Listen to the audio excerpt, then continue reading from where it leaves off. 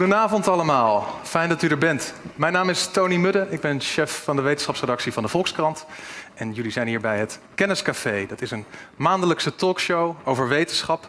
Georganiseerd door de KNAW, de Koninklijke Nederlandse Academie van Wetenschappen. Nemo Kennislink, de Volkskrant en de Bali. Bij het Kenniscafé bespreken we altijd in een tijdsbestek van twee uur uh, één thema. En dat behandelen we dan vanuit verschillende perspectieven. Het kenniscafé heeft ook het woord café in zich. En dat is niet voor niks. Er zijn hier drankjes te bemachtigen. U kunt gewoon zelf met wat geld daar naartoe. Er ligt ook een mandje met wat wisselgeld. En wij vertrouwen u blind dat dat helemaal goed gaat. En mocht u denken, vinden ze dat niet raar als ik gewoon midden in een gesprek naar voren loop om even een drankje te halen? Dat vinden wij hier dus niet raar. Dat is heel gewoon. Het Normaal bij het kenniscafé is toch meestal zijn wij uh, wetenschappelijke doorbraken aan het bejubelen. Dan hebben we het over nieuwe doorbraken in de sterrenkunde, in de geneeskunde. Maar we willen het deze avond eens een keer omdraaien. Eens kijken van, wat gaat er eigenlijk ook wel eens mis in de wetenschap? En hoe kan het dan toch dat als iemand een experiment doet en collega-wetenschappers doen dat exact datzelfde experiment nog een keer, dat er zo vaak dan heel iets anders uitkomt? Uh, we hebben vandaag diverse gasten die sterk zijn in de methodologie die weten hoe een goed onderzoek moet worden uitgevoerd. En we hebben zelfs een hoogleraar die zichzelf CFO noemt. En dat is in dit geval niet Chief Financial Officer, maar Chief Failure Officer. We gaan zo horen wat dat betekent. Ik hoop uh, onze gasten de vragen te stellen die bij jullie leven. Maar mocht dat nou niet zo zijn, geen paniek. Op diverse momenten komt er een microfoon de zaal in en dan kunt u zelf wat vragen stellen. Het is wel belangrijk om even te wachten op die microfoon. Uh, om twee redenen. Eén, zodat de andere mensen in de zaal u goed kunnen horen. En twee, zodat de kijkers thuis u ook uh, kunnen horen. Want u wordt op dit moment, u voelt het misschien niet, maar u wordt nu gelivestreamd. Daar is een camera onder andere. Uh, dus het staat voor den eeuwigheid op het internet. Ik, ik ben allereerst even nieuwsgierig wie er hier in de zaal zit. Wie bent u? Mag ik even handen omhoog? Wie is er hier zelf wetenschapper of onderzoeker? Nou, dat is toch bijna de, nou, dat is wel de helft van de zaal. Ja. Wie, wie is er student? Ook, ook wel aardig wat. Wie zegt van, nou, ik vind het wel interessant, maar ik heb geen idee wat significantie is, open science, ik ben gewoon totale leek. Ja, ook gewoon een paar, ja. En uh, ik ben ook nieuwsgierig, wie geeft zijn vertrouwen in de wetenschap een rapportcijfer 8 of hoger? En wie geeft zijn vertrouwen in de wetenschap een onvoldoende? Gaan we kijken hoe dat aan het eind van de avond uh, is. En mijn laatste vraag aan u, want we gaan het vanavond hebben over fouten en wat je daarvan kan leren. Uh, wie heeft er wel eens een professionele fout gemaakt, dus op zijn werk, uh, waardoor iets helemaal in de soep is gelopen, een beetje gênante fout, waarvan u zegt van nou, dat wil ik wel even in de microfoon vertellen hoe dat gegaan is. Niemand? Zal ik er gewoon zelf eentje opbiechten dan? Ik, ik, ik, ik, vertel er gewoon zelf eentje. Toen ik begon als journalist, toen werkte ik voor de Universiteitskrant in Delft als, als bijbaantje. En uh, toen kwam op een gegeven moment uh, kwam de baas van NASA, dat is die Amerikaanse ruimtevaartorganisatie, die kwam toen op, bezoek aan de TU Delft om daar een verhaal te houden. En ik dacht van, nou, ik was studentverslaggever van die krant. Ik dacht, top, ik ga daar een verhaal over maken hoe de baas van NASA naar Delft komt. Die man die hield daar een verhaal, zoals je dat zou verwachten van een baas van NASA. Die zei, we gaan naar Mars, we gaan naar de sterren. En ik moest toen heel erg denken aan een science fiction serie die ik toen vaak keek. Dat was Star Trek. En daar zeiden ze, eh, was de leus van Star Trek, dat zeiden ze bij elke aflevering, to boldly go where no one has gone before. Toen dacht ik van, nou, dat is eigenlijk wel een mooie kop boven het artikel van wat deze man hier aan het vertellen is, van om brutaal weg te gaan waar niemand eerder is gegaan. Dan was er alleen één klein probleem. Boldly kan je met een O schrijven. Maar er is ook een woord in het Engels, bold, kaal. Dat is met een A. Jullie raden het al, ik had zo groot in de krant, 10.000 keer afgedrukt. Tot grote hilariteit van heel Delft en omstreken had ik geschreven to boldly, maar dan verkeerd gespeld, go where no man has gone before. Dus om met je kale kop te gaan waar niemand ooit eerder is gegaan. En de man was ook nog lichtkalend. En, dan, en, wat ik daarvan geleerd heb, want dat hoort er dan natuurlijk ook bij, is dat op het moment dat je heel comfortabel voelt met iets, want ik dacht van ja, ik heb die serie al duizend keer gezien, wat kan er nou misgaan? Dat je juist dan heel erg op je hoede moet zijn van doe ik dit eigenlijk wel goed? Nou, dat is even om het ijs te breken. Misschien dat jullie dan straks allemaal ook even iets heel gênants kunnen vertellen. Uh, voordat we de gasten naar voren roepen, uh, openen wij de avond met onze columnist Maarten Keulemans van de Volkskrant. Applaus.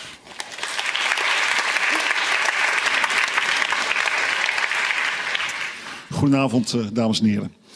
Um, mijn journalistieke lievelingsruzie had ik een aantal jaar geleden met deze man. Onno van Schaik, hoogleraar preventieve geneeskunde in Maastricht en een hoge pief in het algemeen. Inzet was een publicatie van de goede professor in het prominente cardiologenblad Hart. Van Schaik laat daarin zien dat het rookverbod dat in 2004 werd geïntroduceerd eh, in openbare gebouwen en in de treinen, bij elkaar 16.348 hartstilstanden heeft voorkomen. Ik vertrouw dit niet. Hoe kun je dat nou zo precies zeggen? En 16.348 hartstilstanden. Dat zijn er echt heel veel. Iemand zou het moeten zijn opgevallen. Goh, wat is het de laatste tijd toch stil, hè? Op de eerste hulp. Maar Van Schaik baseerde zich op een dataset van hartstilstanden uit Zuid-Limburg. Die hij had gekregen van de ambulancedienst. Hier zijn ze.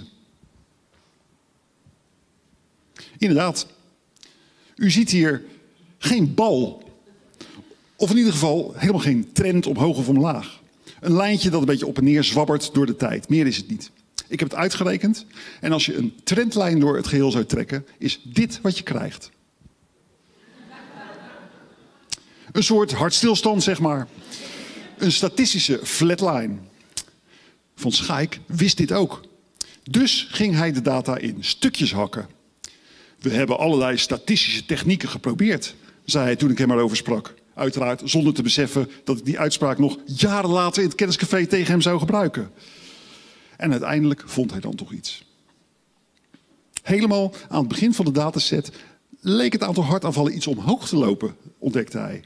Toeval waarschijnlijk, maar het kwam wel goed uit. Als je daarna ook nog eens een knip maakt in 2008, dan ontstaat er rond 2004 opeens zowaar een statistisch significant knikje. Het is zoiets als dat je opstijgt met je vliegtuig. En als het vliegtuig dan horizontaal gaat vliegen, ineens gaat roepen dat je neerstort. Omdat de hoek van het vliegtuig significant is veranderd. Als je dit doorrekent naar heel Nederland, wat natuurlijk helemaal niet mag, want in Limburg eten ze vlaaien en roken en zuipen zich te pletter, waardoor ze veel ongezonder zijn. Als je doorrekent, kom je op die 16.348 hartstilstanden in heel Nederland. Als ik dit voorbeeld wel eens gebruik op gastcolleges, is alles wel een student die boos wordt. Wat? Dat mag toch zomaar niet? Maar het punt is, dit mag wel. Sterker nog, dit is de reden waarom Van Schaik zo'n goede professor is. Iemand die er zelfs nog in slaagt om uit het dataset, waarin helemaal niets gebeurt, een significant verband te peuteren en het vakblad hard te krijgen, die krijgt het onderzoeksgeld en de studenten. Wie wil er nou niet bij zo iemand promoveren? Welkom bij Circus Wetenschap. Want vanavond gaan we het niet hebben over bedriegers, die zoals Dietrich Stapel de kluit bedonderen. Nee, we gaan het hebben over wetenschappers die iets veel ergers doen. Ze houden zich aan de regels. Dit zijn de echte duivelskunstenaars, de Victor Mitsen van de wetenschap, die van niets iets maken en je laten geloven dat ze een ontdekking hebben gedaan, terwijl er helemaal niets is gebeurd. Niemand die dat mooier illustreerde dan deze drie psychologen. Joe Simmons, Leif Nelson en Uri Simonson. Die in een legendarisch onderzoek wetenschappelijk aantoonden dat mensen die luisteren naar het nummer When I'm 64 van de Beatles hiervan jonger worden. Ja, echt waar, jonger. Door bepaalde proefpersonen uit te sluiten, de statistiek een beetje slim af te stellen en wat, wat correcties achteraf door te voeren, liet het drietal zien dat je met wetenschap zelfs het onmogelijke kunt bewijzen. En dat gebeurt voortdurend. Ik moet denken aan het onderzoek dat aantoonde dat schaaldieren in een verzurende oceaan niet meer hun schelpjes kunnen aanmaken. Zonder erbij te zeggen dat men dit had aangetoond door de dieren in een bak met vloeibaar zoutzuur te flikkeren. Ik moet denken aan het team dat bewees dat genetisch veranderd maïs kanker veroorzaakt. aan de hand van drie ratten. Of ik moet denken aan al die onderzoekers die aantonen dat acupunctuur echt werkt en homeopathie geneest. Altijd gebaseerd op dubieus gegogel met de data. Gaat u er maar eens goed voor zitten. De rondleiding van vanavond kon uw beeld van de wetenschap wel eens voorgoed veranderen. In de mindfuck die wetenschap heet, is niets wat het lijkt. En ik hoop in ieder geval dat de sprekers van vanavond iets van mijn vertrouwen kunnen herstellen. Dank u wel.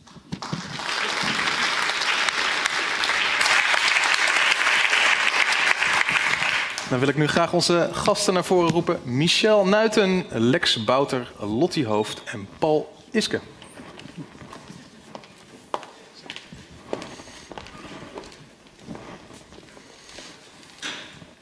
Fijn dat jullie er zijn. Ik begin gewoon even van links naar rechts.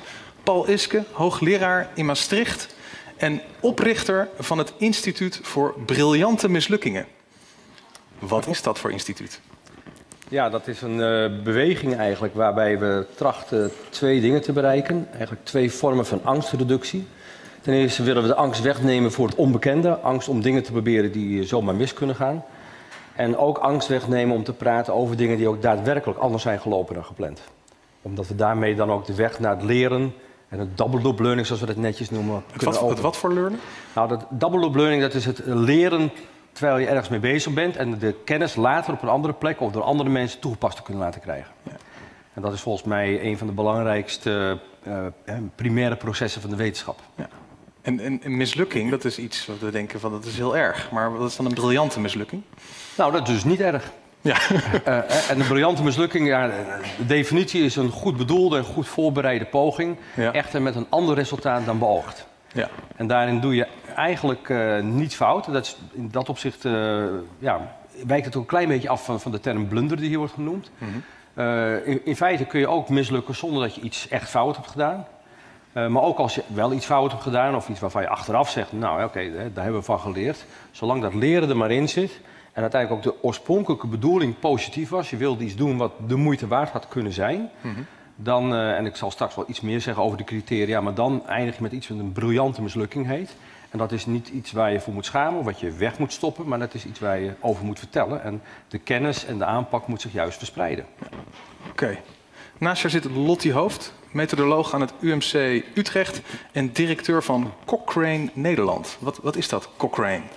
Uh, Cochrane dat is een organisatie die gespecialiseerd is in het maken van literatuuroverzichten. Dus wat we doen is, er is een bepaald onderwerp waar heel veel studies over zijn gedaan. Dus bijvoorbeeld wat is de effectiviteit, dus de werkzaamheid van een uh, bepaald middel. Dus uh, bijvoorbeeld voor het verlagen van een te hoge bloeddruk. En wat wij dan doen is al die studies die er zijn uitgevoerd wereldwijd verzamelen. En dan vervolgens uh, beoordelen op kwaliteit. Dus waar we dan naar kijken is of de, de opzet van de studie op een juiste manier is ge, uh, gegaan. Uh, de uitvoer van de studie, de analyse, de interpretatie van de resultaten en bij voorkeur ook de rapportage. Dus dat zijn behoorlijk wat aspecten waar er dus fouten kunnen worden gemaakt. En het is dan denk ik daarbij wel heel duidelijk om te melden dat fouten maken menselijk is. En dat het dus heel vaak niet met kwade opzet is, maar dat, er, uh, nou, dat het soms minder gaat of anders gaat dan gehoopt. En op het moment dat we daar transparant over zijn, dan kunnen we daar rekening mee houden. Want over het algemeen, als er fouten optreden, dan kan dat bijvoorbeeld betekenen dat resultaten van een studie anders geïnterpreteerd dienen te worden dan als die fouten niet zijn gemaakt. Dus het is niet zo dat resultaten volkomen waardeloos zijn, maar ze zijn mogelijk overschat of in sommige situaties onderschat. En, en, dat werk raakt ook heel veel patiënten. Want als de minister zich afvraagt, moeten wij dit hele dure medicijn uh, geven aan deze groep mensen? Dan, dan, klopt hij bij jullie aan zo van, uh, werkt het eigenlijk wel? Ja, er wordt vaak gebruik gemaakt van uh, dergelijke literatuuroverzichten... die ja. van, bij voorkeur van hoge kwaliteit zijn. En daarbij is dan wel ook duidelijk om te maken dat hoe goed je deze methodiek ook toepast... dus het reviewen van alle studies die zijn uitgevoerd... op het moment dat daar veel fouten in zijn gemaakt, al dan niet per ongeluk, uh, kunnen de resultaten dus wellicht met minder grote zekerheid worden gebruikt of worden geïnterpreteerd. Dus de totale zekerheid van dat wat we weten, uh, nou, hoeft niet altijd toe te nemen als wij op een juiste manier een review schrijven. Dus zo'n literatuuroverzicht. Maar dat komt heel vaak voor en ook voor het, het, het, klinisch handelen. Dus bijna elke, elke specialist, medisch specialist, paramedisch specialisten maken gebruik van richtlijnen. En dergelijke literatuuroverzichten zijn belangrijke bronnen, belangrijke bouwstenen voor dit klinisch handelen. Oké. Ja. Naast jou zit uh, Michel Nuiten, werkzaam aan de Universiteit van Tilburg en gespecialiseerd in meta-science. Wat is meta-science? Ja, uh, meta-science is eigenlijk onderzoek over onderzoek. Dat is het, het meta-aspect ervan. Um, dus waar ik me mee bezig hou, is ik kijk naar de, de kwaliteit van gepubliceerd onderzoek en van toekomstig onderzoek. Mhm. En specifiek kijk ik voornamelijk in praktijk heel veel naar de psychologie, maar veel van het onderzoek wat ik doe is makkelijk door te vertalen naar andere velden. Um, dus één tak daarvan is het kijken naar onderzoek dat al gepubliceerd is. En dan hou ik me bezig met staan daar fouten in. Uh, zijn de effecten die worden beschreven niet net iets rooskleuriger neergezet dan ze eigenlijk zijn? Zijn ze overschat? Ja. Um, zijn er andere dingen die misschien niet helemaal kloppen? Um, en aan de andere kant probeer ik ook na te denken aan de hand van de informatie die we vinden in gepubliceerde stukken. Hoe kunnen we nou zorgen dat eventuele problemen die daarin zitten niet doorgetrokken worden in toekomstig onderzoek. Dus heeft het bijvoorbeeld zin om in de psychologie meer te gaan focussen op het registreren van studies voordat je ze uit gaat voeren, zodat je minder flexibiliteit hebt en niet kan aantonen dat de Beatles uh, je verjongen. um, zouden mensen hun data vaker moeten delen om te zorgen dat dingen nagerekend kunnen worden? Wat zijn allemaal trucs die we kunnen uithalen om te zorgen dat de kwaliteit van onderzoek beter wordt? En noem eens een voorbeeldje van wat voor type onderzoeken zij het dan? Want je zei al van het is dan sociaal-psychologisch, maar noem eens wat. Um, nou, moet, ik moet je eerlijk zeggen dat ik niet zo snel een voorbeeld paraat heb. Met name omdat mijn onderzoek vaak uh, zich richt op grote hoeveelheden literatuur. Dus ja. ik ben niet zo erg bezig met fouten aanwijzen in individuele studies. Mm -hmm. Ik ben grote hoeveelheden studies op één hoop aan het gooien. Uh, om te kijken wat zijn nou de patronen die we door het hele veld in de psychologie zien. Ja. En hoe we die op zouden kunnen lossen. Ja, Oké. Okay. En dan uh, hier voor uh, de kijkers thuis helemaal op rechts. Uh, Lex Bouter, voormalig rector van de VU en nu hoogleraar methodologie en integriteit. En waar richt zich specifiek op, methodologie en integriteit? Want dat is natuurlijk een enorm breed onderwerp. Nou, het werd net in de aankondiging al gezegd. een avond zoals dit zou over de Diederik Stapels en de echte boeven van de wetenschap kunnen gaan. Die zijn er gelukkig heel weinig. Ja. Uh, en wat veel belangrijker is, is de neiging die we allemaal hebben als wetenschapper om bochten af te snijden als ons dat goed uitkomt. Tijdwinst, uh, meer spectaculaire uitkomsten. En dat heeft heel veel met methodologie te maken. De vorige sprekers hebben dat al gezegd. Dat is mijn vak ook van origine. En ik probeer het nu met het goed beoefenen, kwalitatief goed beoefenen van de wetenschap in verband te brengen. en zo hebben we onder andere met een aantal mensen een nieuwe gedragscode vorig jaar gelanceerd die erover gaat. Uh, hoe moet je eigenlijk goed onderzoek doen ja. uh, in alle disciplines? Uh, en dat is een veel positievere boodschap als het boeven vangen wat veel mensen denken als het over wetenschappelijke integriteit gaat. Precies. Dus ik probeer te laten zien dat het glas ook half vol is. Ja. En, en, om toch even in kaart te brengen, brengen van hoe, hoe, groot is het probleem waar we het hier over hebben? Hoe, hoeveel wetenschappers, hoeveel procent van de wetenschappers nou, kent iemand die frauduleus is en hoeveel procent van de wetenschappers kent iemand die wel eens zo'n rare bocht neemt? Het, het, het eerlijke antwoord is, is, dat we dat niet, zo goed, niet heel goed weten. Maar als je het wetenschappers vraagt, dat is een keer of 25 uh, gedaan, mm -hmm. en al die studies samenneemt, dan lijkt het erop dat 1 op de 50 wetenschappers toegeeft wel eens uh, data te hebben verzonnen of vervalst. Dat is een heel ja. zwaar vergrijp. Ja. En een derde van de wetenschappers geeft toe regelmatig bochten af te snijden. Uh, en dit is dus zelf gerapporteerd en het zal wel geen overdrijving zijn. En, dat is en, misschien wel een onderschatting. En noem eens een voorbeeld van een bocht afsnijden. Wat houdt dat dan in? Een bocht afsnijden, dat is als je een studie doet bijvoorbeeld. En dan, je hebt drie uitkomsten. Eén is geweldig en positief en spectaculair. Zo van de behandeling en, werkt, en, hoera. Ja. Precies. En, en twee, dat, dat laat geen enkel verschil zien. Om dan alleen, alleen maar die ene te publiceren en te doen alsof dat het enige is wat je onderzocht hebt. Ja, precies. Dan krijg je een overdreven beeld in de literatuur. Ja. En er hebben mensen zoals Lotte, die hebben daar last van als je die literatuur probeert samen te vatten. Ja, want dan, dan lijkt het dus alsof iets heel goed werkt. Terwijl al die keren dat ze het onderzoek hebben gedaan dat het niks opleverde, dat ligt ergens onder in een la te verstoffen. Ja, dus, dus ja. als je selectief rapporteert, dus dingen soms helemaal niet rapporteert, uh, omdat je er geen artikel over schrijft. Of het artikel zo te schrijven dat je de krenten uit de pap haalt. Mhm. Ja, dan maak je het mooier als dat het is. En dan heb je het probleem dat mensen die alleen maar die artikelen lezen... denken dat het alles is wat je gevonden hebt. Ja. Nou heb ik u wel eens in een uh, interview met NRC uh, horen zeggen dat uh, sloppy science, dus slordige wetenschap, die, die, die, die bochten afsnijden, dat dat nog erger is dan fraude. En wat, wat bedoelt u daarmee? Nou, fraude, dat klinkt in eerste instantie, in eerste instantie denk je, dat is het allerergst. Dat hebben we een paar keer onderzocht. Hè? Uh, je vraagt aan de mensen dit rijtje van 60 misdragingen. Mhm. Als het gebeurt, hoe erg is het dan? Nou, dan is fraude verschrikkelijk. Uh, maar hoe vaak gebeurt het? Er gebeurt heel weinig. En als je die twee dan met elkaar vermenigvuldigt, dan krijg je een soort gewogen ernst. En als je dan een, een top, top 50 of top 60 maakt, dan staat de fraude die staat in de onderste helft. En de kleine vergrijpen, waar ik er net een paar voorbeelden van gaf, die staan heel hoog. Niet omdat ze erg zijn als ze gebeuren, niet heel erg, maar omdat het vaak gebeurt. Ja. Telt het zwaarder, alles bij elkaar opgeteld. En, en zo kwamen we tot die uitspraak uh, dat dat erger is als die, als die paar boeven, die er natuurlijk ook zijn in de wetenschap en die we moeten vangen, uh, geen misverstand erover, uh, maar dat is veel minder erg als dat bochten afsnijden, wat we allemaal een beetje kunnen doen. Ja. En Lotte, ik ben nieuwsgierig. Want als ik denk, we hadden vanochtend stond op de op voorpagina van de Volkskrant dat behoorlijk veel medische handelingen, dat je daarvan kunt afvragen van is dat eigenlijk wel zinvol? Mhm. En dan denk ik, als iemand die wel eens in een ziekenhuis is geweest, denk ik van ja, dus die mensen in die witte jassen, die hebben daar toch uh, tien jaar lang voor doorgeleerd. Die, die, die doen toch niet zomaar iets wat niet zinvol is. Maar hoe, hoe kijk jij er tegenaan? Uh, ja, voordat ik antwoord geef, wil ik een, uh, een, kleine disclaimer plaatsen. Dus dat is niet dat jullie helemaal geen vertrouwen meer krijgen in, het, in de medische zorg in Nederland of in de wetenschap überhaupt. Want iedereen doet oprecht enorm zijn best om de kennis van het allerhoogste niveau te laten zijn en om ook echt goed kwalitatieve zorg te leveren. Dat gezegd hebbende, is het belangrijk om te melden dat in richtlijnen bepaalde indicaties staan. Dus wanneer zou je iets het allerbest uh, kunnen voorschrijven, kunnen geven, kunnen toepassen.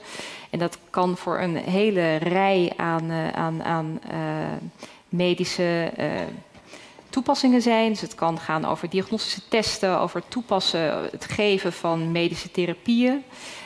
Of andere soortige therapieën. En um, over nou, de prognose van hoe loopt het dan vervolgens af.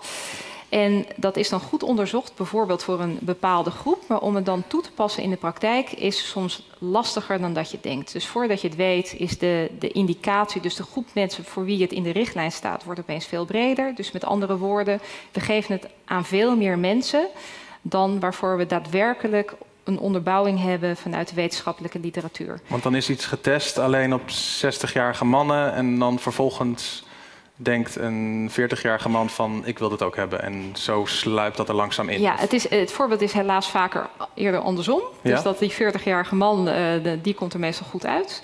Uh, tenminste, dat is vaak uh, goed, goed onderbouwd. En om het dan te vertalen naar een, een, een andere groep. Dus bijvoorbeeld inderdaad 60-jarige man of een man ook met die, waar nog iets anders mee aan de hand is. Dus met een bepaalde comorbiditeit.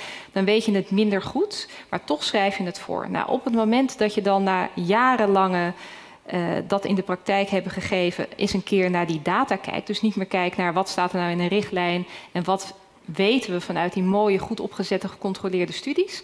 Maar als dan blijkt dat het voor een hele grote groep mensen eigenlijk niet levert wat je zou verwachten wat het levert, dan moet je je beslissingen herzien en moet je eigenlijk besluiten dat zo'n middel niet meer wordt gegeven aan een bepaalde groep. Maar iets terugdraaien is vaak veel ingewikkelder dan uitleggen dat je gaat starten met iets geven. Dus vandaar het grote artikel in de krant. Dus dat is een ontzettende mooie, belangrijke taak die uh, nu het uh, Zorginstituut op zich gaat nemen.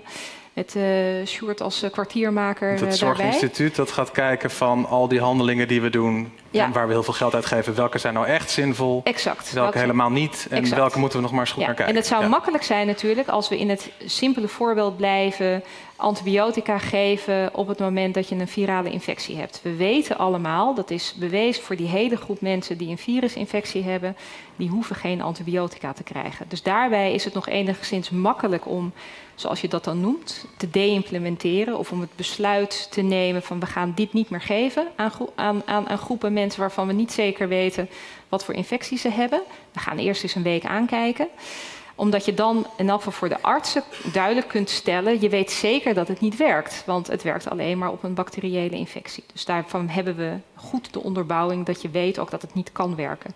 Zelfs dan, in die setting, is het heel ingewikkeld om aan een patiënt uit te leggen dat je iets niet voorschrijft. En blijkt dus uit wetenschappelijk onderzoek, uit vergelijkbaar meta-wetenschappelijk onderzoek, dat veel artsen uiteindelijk toch besluiten om het voor te schrijven, omdat het daadwerkelijk minder tijd kost om het dan toch maar voor te schrijven dan aan een patiënt uit te leggen dat je het maar beter niet kan Beter niet kan doen, ja. ja.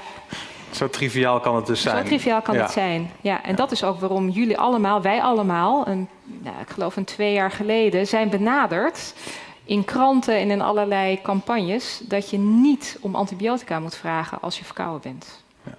Dus dat is één van de strategieën die je dan, dan kan toepassen. Ik realiseer me dat ik veel te lang praat, maar de opmaat, de opmaat daar naartoe is uh, dat het hierbij duidelijk is, maar dat het voor heel veel andere behandelingen niet zo duidelijk is. Dus dat die grensgebieden veel vager zijn en dat dan hele andere motivaties een rol kunnen spelen. Dus dan kunnen artsen bijvoorbeeld echt angstig zijn dat ze een potentiële therapie, die misschien toch voor die persoon effectief zou kunnen zijn, want je weet het niet helemaal 100% zeker, want hij voldoet aan twee van de variabelen, terwijl je eigenlijk hoopt dat hij er zes zou hebben, dan is het veel ingewikkelder om toch te besluiten dat je het niet geeft. Ja. ja. En, uh, Michel Nuiten, jij, uh, jij maakt ook, uh, zoals je in Word een spellingschecker hebt, heb jij dus een soort spellingschecker gemaakt, maar dan voor statistiek. Hoe, hoe werkt dat? Verschijnen dan ook van die rode kringeltjes onder getallen? Of hoe, ja, daar, gaat dat? daar zijn we heel dichtbij. Ja? Dus ik hoop dat het inderdaad een mooie plugin wordt. Een soort clippy hoop ik ook weer terug te brengen ermee. Ja, um, dat, nee, maar wat dat is die paperclip, ja, toch? Van vroeger van Word, ja, Volgens mij probeerde je dit te doen. Ja. Um, dat is mijn doel. Uh, maar op dit moment hebben we inderdaad een soort, ja, het heet StatCheck, een spellingschecker voor statistiek. En uh, het, is, het is op dit moment een uh, gratis webapp ook. En het is eigenlijk heel simpel. Je geeft het een wetenschappelijk artikel. Uh, StatCheck gaat zoeken in de tekst naar dingen die lijken op statistische resultaten. Um, in de psychologie zijn die statistische resultaten eigenlijk altijd op dezelfde manier opgeschreven. Dus dat maakt het heel makkelijk om die automatisch te vinden. En de grap van dit soort resultaten is dat ze vaak bestaan uit drie verschillende getallen. Zo zit een statistische test in elkaar. Um, en die horen intern consistent te zijn. Dus het is vergelijkbaar met als er staat 2 plus 2 is 4. Dat is intern consistent. 2 plus 2 is 5, is niet intern consistent.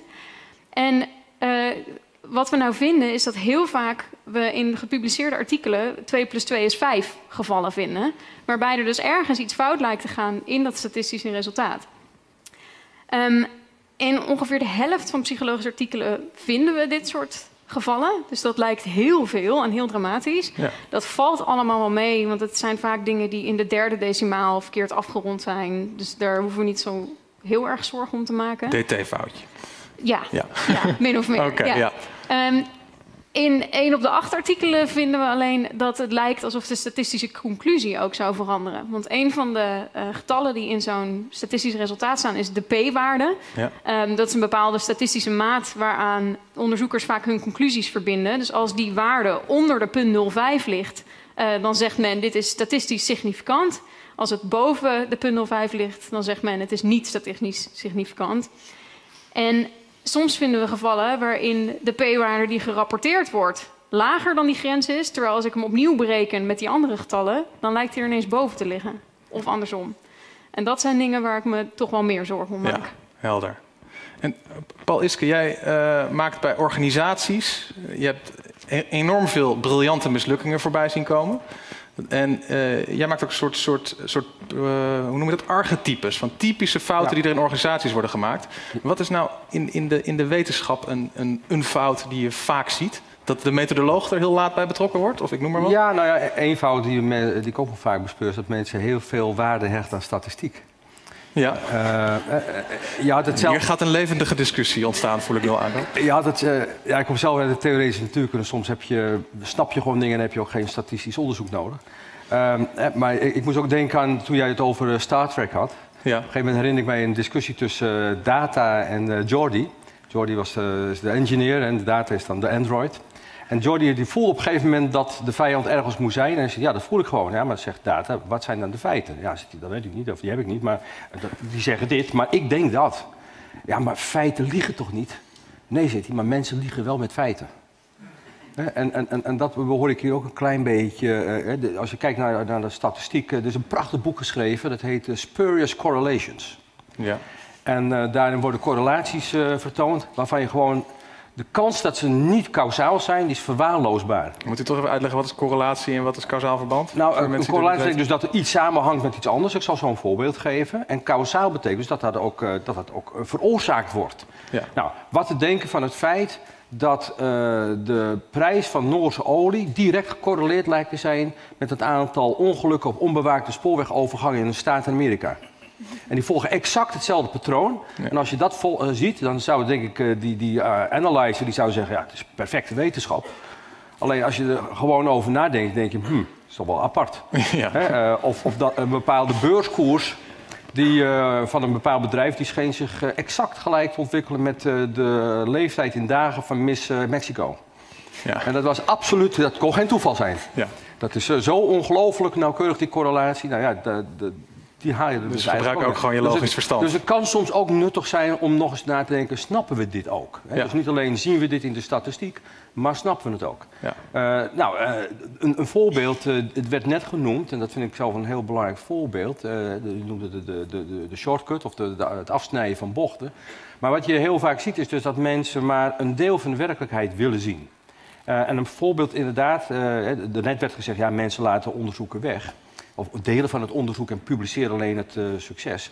Maar eerlijk gezegd, uh, de perversiteit van het systeem is zodanig dat mensen ook worden aangemoedigd om alleen maar successen te publiceren. Want een nulresultaat kun je bijna niet publiceren. En waar heeft dat bijvoorbeeld toe geleid?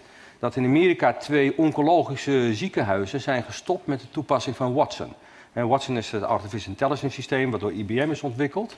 En wat ze wilden gebruiken om betere diagnoses te stellen en ook om betere combinaties te maken van behandelingen tussen, bij, patiënten met een bepaalde aandoening, het zijn oncologische aandoeningen, en, en, en, uh, en de patiënt. En daar de optimale behandeling bij te vinden. En wat bleek nou? Watson, die was, eh, kijk, zo'n systeem is zelfs, ja, die weet helemaal niks, achterlijk als de achterkant van een varken. maar dan, die moet je trainen. Dus moet, er moet informatie ingestopt worden. En die, die, informatie haalden ze uit publicaties in vooraanstaande uh, Amerikaanse wetenschappelijke tijdschriften. Want dat is, dat is de top van de wetenschap, toch? Alleen wat krijg jij gepubliceerd in vooraanstaande Amerikaanse wetenschappelijke tijdschriften? Dat zijn aansprekende resultaten. Ja, dus, allemaal succesverhalen. Succesverhalen. Dus alles wat niet of nauwelijks werkte, dat is niet toegevoegd aan de knowledge base van Watson. En als gevolg daarvan hebben ze geconcludeerd en geconstateerd dat de adviezen van Watson zouden leiden tot een hoger sterftecijfer dan puur de adviezen van de doktoren met hun brede, uh, ja, hun brede ervaring. En daar zie je dus waar het toe kan leiden als je dus maar een deel van de werkelijkheid kunt publiceren. Van, ja. We gaan zo meteen nog veel verder praten over die, die, dat beloningssysteem van die wetenschap. En of maar nog even over die archetypes dan, heel kort. Ja, maar we gaan ook een quizje doen. Ja, over die archetypes. Dan, nee, gaan we zo meteen nog ook verder over die archetypes. Want uh, we hebben even om uh, een, een, Science Nemo-link. Uh, die doen altijd een quizje bij het Kenniscafé. En dat gaan we nu ook met jullie doen. En Mart Vogel gaat dat presenteren. Applaus.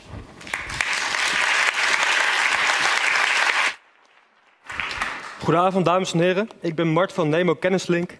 En ik ben elke maand bij het Kenniscafé aanwezig om met een korte demonstratie of een kort experimentje even te checken of jullie allemaal wakker blijven. En dat gaan we vanavond doen met een korte kennisquiz. Ik zou jullie willen vragen om allemaal jullie telefoon erbij te pakken en naar deze website te gaan. Dat is www.menti.com. En dan kan je inloggen met de code die er rechts van staat, 247541. Mocht je nou geen smartphone bij je hebben, kijk dan even met je buurman of buurvrouw mee.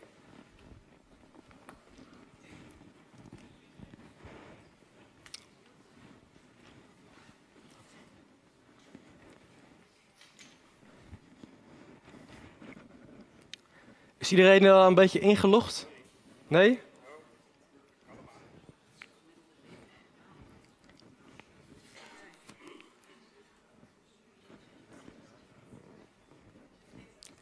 Hoe uh, staat het ervoor? Ja? Oké. Um, jullie krijgen zo een aantal vragen op jullie telefoon, multiple choice vragen. Dan kan je op je telefoon op antwoorden ook. Uh, het is wel de bedoeling dat het een beetje snel gaat, dus denk er niet te lang over na. De eerste vraag. Het aantal doden door natuurrampen is in de afgelopen 100 jaar verdubbeld, gelijk gebleven of gehalveerd.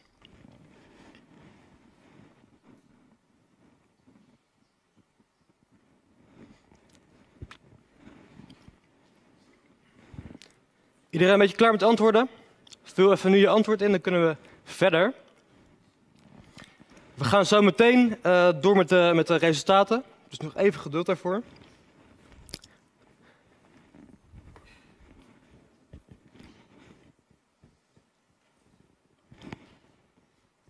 Volgende vraag. Het aantal mensen dat in extreme armoede leeft is in de afgelopen 20 jaar verdubbeld, gelijk gebleven of gehalveerd. Graag antwoorden in 5, 4, 3, 2, 1 en 0. Derde en laatste vraag. Wereldwijd zijn 30-jarige mannen gemiddeld 8 jaar naar school geweest. Voor vrouwen is dit 3 jaar, 5 jaar of 7 jaar. Graag antwoorden in 5, 4, 3, 2, 1, 0. En tijd voor de antwoorden en resultaten. Nou, in dit geval was dat 7 jaar, dus de meeste mensen hadden het helaas fout. Voor de vorige vraag was dat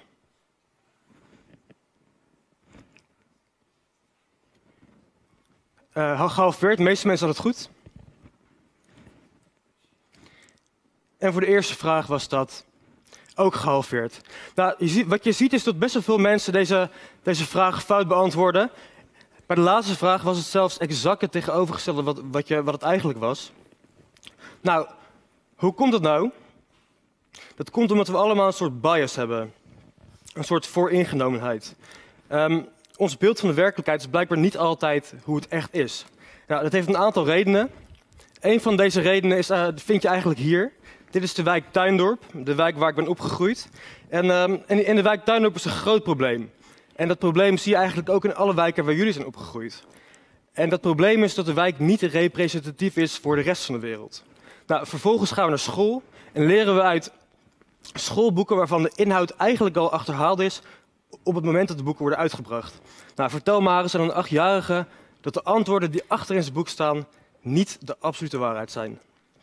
Nou, vervolgens lezen we kranten en kijken we televisie, uh, waarvan alleen de meest sensationele verhalen de voorpagina halen. Met sappige titels die de, die de verhalen vaak niet eens waard zijn. Nou, onze hersenen maken eigenlijk van deze verschillende bronnen aan informatie een soort samenhangend beeld van hoe de wereld eruit ziet. Maar dat beeld blijkt dus vaak niet uh, realistisch. Nou, wat kunnen we nou doen om te zorgen dat we die, die persoonlijke bias over de wereld kunnen overwinnen? Nou, drie tips. Eerste tip is, het meeste wordt beter. Kijk, er zijn hartstikke veel mensen die, uh, veel te veel mensen die in, onder de armoedegrens leven, of die onderdrukt worden, of landen waarin nog veel te veel ongelijkheid is. Maar gemiddeld, over het algemeen, wordt het meeste beter. Tweede tip is, vergeet de meerderheid niet.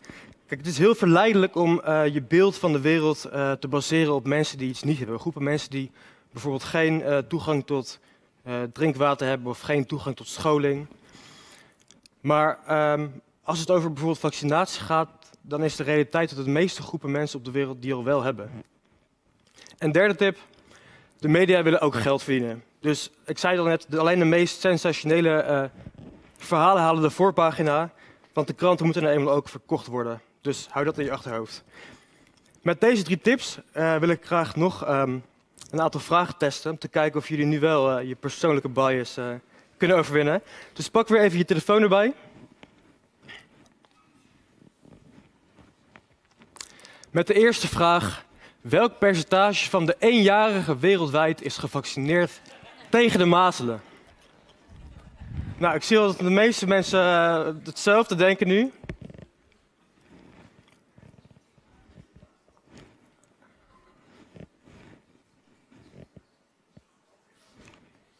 Nou, het is inderdaad 80%. Je had het misschien al een beetje geraden. Stop. Oh, wacht even. Oh.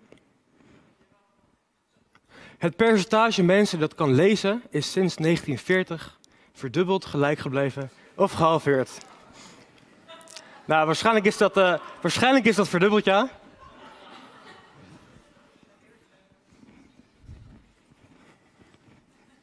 Nou, dat is duidelijk. En de laatste vraag. Oh, eentje terug. Het aantal kinderen dat overlijdt voor hun vijfde levensjaar is sinds 1940 twee keer zo klein geworden, vier keer zo klein geworden of zes keer zo klein geworden.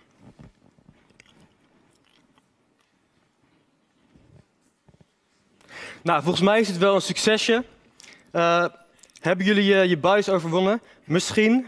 Realistische wereldbeeld, misschien. Of misschien was deze quiz gewoon uh, iets doorzichtig. En hebben jullie nu een soort bias ontwikkeld dat het positieve antwoord altijd het beste is?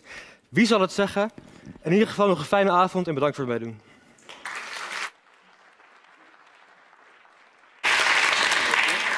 Dankjewel, Mart Vogel. Uh, tegen mijn kinderen zeg ik altijd van uh, fouten maken is goed, want daar leer je van. Maar is dat ook de cultuur in de wetenschap of worden fouten daar als iets gênants gezien waar je maar een beetje over moet zwijgen? Hoe, kijk jij daarnaar, uh, Michel Nuiten? Ik weet wel hoe het fijn zijn als het zou zijn. Zeg maar. Het zou leuk zijn als mensen het meer zouden zien. Nou ja, wat jij ook zei, hè, dat het meer als een leermoment wordt gezien. Um, in de psychologie wordt het toch eigenlijk bijna altijd als een persoonlijke aanval gezien als mensen een fout ergens in aanwijzen. Ja. Um, waarom is dat? Ik denk dat we op een gegeven moment ons onderzoek heel persoonlijk zijn gaan nemen en gaan maken. Dus het is niet een wetenschappelijke theorie, het is mijn wetenschappelijke theorie. Ja. En als je mijn theorie aanvalt, dan val je mij aan als persoon. Ja. Um, en het is ook logisch dat mensen er zo over denken, want je wordt ook als wetenschapper, als individu heel erg beloond voor dingen. Um, je wordt heel persoonlijk afgerekend op wat je schrijft en wat je niet schrijft, voornamelijk dat andere. Um, dus als mensen jou een soort van zuurverdiende en, en gladgestreken publicatie aanvallen, dan zie je ook echt in de verte je kans op een vast contract uh, verkleinen. Of je ziet echt de kans op die ene beurs verkleinen. En, en daar zit denk ik wel een pijnpunt. Heb je het zelf ook wel eens meegemaakt dat iemand openlijk kritiek had op een onderzoek dat jij het uitvoerde. Dus oh, van uh, hier uh, regel 7 klopt niet. Ja, en het was zelfs een onderzoek wat ik had gepubliceerd over fouten in andermans onderzoek. Dus het was ook metakritiek. Oké, uh, ja. um, uiteindelijk was de kritiek op mijn paper ook fout. Oké. Um, daar, wat, wat overigens, daar waren, daar waren alle partijen het over eens. Ja. Maar het is wel zo, hè, dit, dit, dit dit soort dingen worden vaak op Twitter uh, besproken. Dat maakt het extra ingewikkeld, omdat je snel uh, wil reageren. Je hebt maar weinig woorden, dingen worden snel ongenuanceerd en snel persoonlijk, omdat het, ja, het is social media. Mm -hmm. um, wat, wat wil ik zeggen daarmee? Wat, was nou, of, of je het zelf wel eens hebt meegemaakt oh, dat iemand kritiek had op jouw onderzoek. En, ja, dus en, en je leest, je... Ja, dus je leest zo'n zo'n kritiekpunt en het eerste wat je denkt is echt shit. Ja, dat is echt een emotionele reactie. Waarvan in eerste instantie paniek, want het was mijn eerste grote publicatie. Ik denk, oh, dat gaat je toch niet gebeuren. En zeker met ja. een artikel waarin je andere mensen op fouten wijst. Dat is natuurlijk extra pijnlijk als daar iets in fout gaat. Ja. Um, en daarna was ik ook echt een beetje boos. Dus ik dacht, ja, wie denk je wel niet dat je bent? We hebben er vijf jaar met vijf mensen uh, onderzoek naar gedaan. Natuurlijk is dit goed gegaan. En dat slaat ook nergens op, want ja, dingen, onderzoek is moeilijk. Ja. De kans is groot dat er ergens een fout in zit. Was dat iemand die je kende die die kritiek had? Of is het gewoon uit het niets komt er ineens een, iemand uit Japan of Amerika die zegt nou, van dit, uh, dit was toevallig, dit, dit was toevallig iemand die je kende, dus dat maakte het... Ja, ik, weet, ik weet eigenlijk niet of dat het makkelijker of moeilijker maakte. Ja. Um, misschien maakte het juist ook wel persoonlijker. Um, maar ik heb ook iemand uh, die ik niet ken, die, die ook heel veel kritiek heeft op mijn onderzoek. Waar je ja, ook op een bepaalde manier mee om moet gaan. Ja. En ik denk dat uiteindelijk de truc is om als wetenschapper heel erg te proberen om de eerste emotie eroverheen die te laten zakken voordat je zo'n discussie aangaat. En heel erg probeert om te bedenken: oké, okay, zou er misschien een kern van waarheid kunnen zitten ja. in het kritiekpunt ja. van die ander? Lex Bouter, heb jij wel eens een onderzoek de wereld ingestuurd waarvan je nu denkt zo van, oef, dat was eigenlijk niet zo best? Ja, regelmatig. Dat, dat moet ik wel bekennen. Ja. Uh, de, de, wijsheid komt misschien een beetje met de jaren. Maar het is natuurlijk wat Michelle al zegt. Het, het is best moeilijk wetenschap. Ja. En zeker in de tijd um, dat hier nog wat minder over werd nagedacht. Um, was het bijvoorbeeld helemaal niet gebruikelijk. Wat, wat nu begint normaal te worden, dat je eerst bedenkt hoe je het gaat onderzoeken, dat dat netjes opschrijft en ergens parkeert in de cyberspace. En dat hetzelfde doen met het databestand. Um, hoe je het gaat analyseren, dat deden we vroeger niet. En dan kom je onderweg in de verleiding om het een beetje zus te doen, om het een beetje zo te doen. En op een gegeven moment ben je dat ook vergeten, wat je allemaal voor veranderingen onderweg gedaan hebt. Uh, je kan jezelf aardig in de nesten werken daarmee. Uh, maar soms vind je ook iets prachtigs. En dan ga je zelf ook geloven dat dat, dat via een rechte koers tot stand is gekomen. Kan je daar een voorbeeld geven? Was het dan een behandeling tegen pijn in je knieën? Of waar, waar, waar nou hebben we het over? Het, het, is, het is in onderzoek vaak zo, uh, wat ik net aan het begin al zei, dat je veel meer data verzamelt um, als nodig is om vraagstellingen te beantwoorden die je echt wil beantwoorden. Ja. En dat is natuurlijk prima als je een beetje wil, wil spelen en exploreren en kijken of dat je misschien wat nieuws vindt. Mm -hmm. Dat is in zichzelf belangrijk, maar dan moet je dat ook zeggen. Dan moet je zeggen, ik, het regende en ik verveelde me en ik heb een beetje met mijn databestand zitten spelen en kijk eens van een leuke tabel dat ik heb gevonden. Ja. Dan ben je eerlijk. Dan ben je eerlijk. Maar als je zegt van, nou, ik had een hypothese en die kwam met een theorie en ik heb het getoetst en het is hartstikke significant, ja, dan bedot je de en dat gaat dan over en, van en of een behandeling wel of niet ongemerkt. Want je vergeet het zelf ook een beetje. Ja. Dat je gaandeweg, data-driven noemen we dat in jargon... Uh, gestuurd door wat je ziet op je scherm, zegt van nou ja, dan doen we het afkappunt een beetje zo en dan doen we nog een ander techniekje en dan gooien we die uitbijters er een beetje uit. Dat kan allemaal zonder boze opzet gebeuren met akelige gevolgen. Ja. En, en ja, dat, dat, dat heb ik in het verleden ook wel gedaan omdat we dat nog niet zo duidelijk voor ogen hadden, dat we streng moesten zijn voor onszelf. Ja. Want dat is het spel. Het, het, zijn net gewone mensen, die wetenschappers. Uh, en ze houden zichzelf ook dolgraag voor de gek. En je moet elkaar dus een beetje controleren. En je moet jezelf voor het blok zetten door te zeggen van... Ik ga het zo doen en dan pas de data te verzamelen en ik ga ze zo analyseren en dan pas die analyse toe te passen. En dat is eigenlijk pas de afgelopen jaren uh, dat dat langzaam maar zeker uh, gemeengoed begint te worden in sommige disciplines. En er zijn ook nog velden van wetenschap ja, waar dit nog in de kinderschoenen staat. Ik zit nu even te denken aan een voorbeeld. Ik sprak ooit een keer een wetenschapper die zei van... nou, ik verwachtte bij een uh, bepaalde behandeling dat die zou werken. Toen achteraf, toen ik keek naar de gegevens, hadden die mensen helemaal geen minder pijn. Maar toen bedacht ik me ineens van... hé, hey, er waren twee mensen, twee proefpersonen... die waren gewoon volgens mij een beetje dronken. Die, dat is helemaal niet goed om die mee te nemen. Die moet ik eruit laten. Kijken als die en, toen, en toen werkte, nee, het, toen werkte het ineens wel. En als ik nou eens alleen maar kijk naar negroïde vrouwen. Ja, verroest. Dat, daar werkt het. Ja. En dan vergeet je de rest. En, en nogmaals, um, dat is wishful thinking. Um, gekropen in de manier waarop je de data analyseert. Dat is niet per se boze opzet, maar ja, het komt je wel goed uit, omdat je dan in die mooie bladen misschien komt, wat, uh, ja. wat net ook al gezegd werd. En dan moet je elkaar en vooral ook jezelf um, netjes tegen beschermen. En dat zien we wat beter in tegenwoordig. Ja. En ik dus ook. Lottie, Lottie Hoofd, zelf wel eens een fout gemaakt? Of op, gewezen op een fout in een studie? Of? Nou ja, ik heb uh, helemaal aan het begin van mijn carrière bijvoorbeeld de data-driven thresholds uh, toegepast. Dus uh, met andere woorden, ik dacht een nieuwe biomarker, dus een stofje in het bloed, op het spoor te zijn, waarmee je goed kon voorspellen of je een uitzaaiing had voor een, uh, van een schildkliercarcinoom. En uh, nou, wat je dan doet, is dat je gaat kijken of je een uh, stofje in het bloed kunt vinden bij patiënten die ook later een aangetoonde metastase, een uitzaaiing hadden, of niet. En die deel je dan vervolgens in in een 2-bij-2-tabel. Wij onderzoekers zijn echt dol op van die 2 bij 2 tabellen. En bij voorkeur als ze ook gewoon dus zo gevuld raken dat de patiënten helemaal in de juiste cellen terechtkomen. Nou, dat kan je doen als je daarbij netjes meldt ook dat dit een eerste analyse is die is gedaan en dat het vervolgens nog weer een keertje opnieuw getoetst moet worden. Dus zulke data moet dan gevalideerd worden. Dus het onderzoek zelf was niet per se fout, mm -hmm. maar de wijze waarop ik de resultaten heb gepresenteerd en mogelijk ook de interpretatie van die resultaten was misschien iets wat ja, te rooskleurig. En bedenk je dat dan la later zelf of, of wees iemand anders je erop? Of? Nou, er is ook, ja, je zou het misschien niet zeggen, maar dat is echt inmiddels ook wel echt behoorlijk wat jaar geleden, het begin van mijn, uh, van mijn carrière. En toen speelde dat uh, toch nog echt een, een stuk minder. Dat zou ik nu, dat is lekker makkelijk praten natuurlijk, maar nooit meer doen. En ik, ik hoop ook dat ik alle junior onderzoekers die nu in opleiding zijn, daar ook voldoende in, in school. Dat ze daar goed netjes over nadenken, van tevoren ook. En dat ze de bij betrouwbaarheidsintervallen presenteren. Dus niet alleen de waarde met een p-waarde, waar Michelle het net eerder over had, maar ook de mate van zekerheid rondom die schatting die we dan doen. Want als ik dat had gedaan, mm -hmm. dan had je gezien dat we het nog steeds niet weten. Dat deze studie opnieuw uh, gedaan moet worden. Dat het potentieel een, een, uh, nou, iets was waar brood in zat.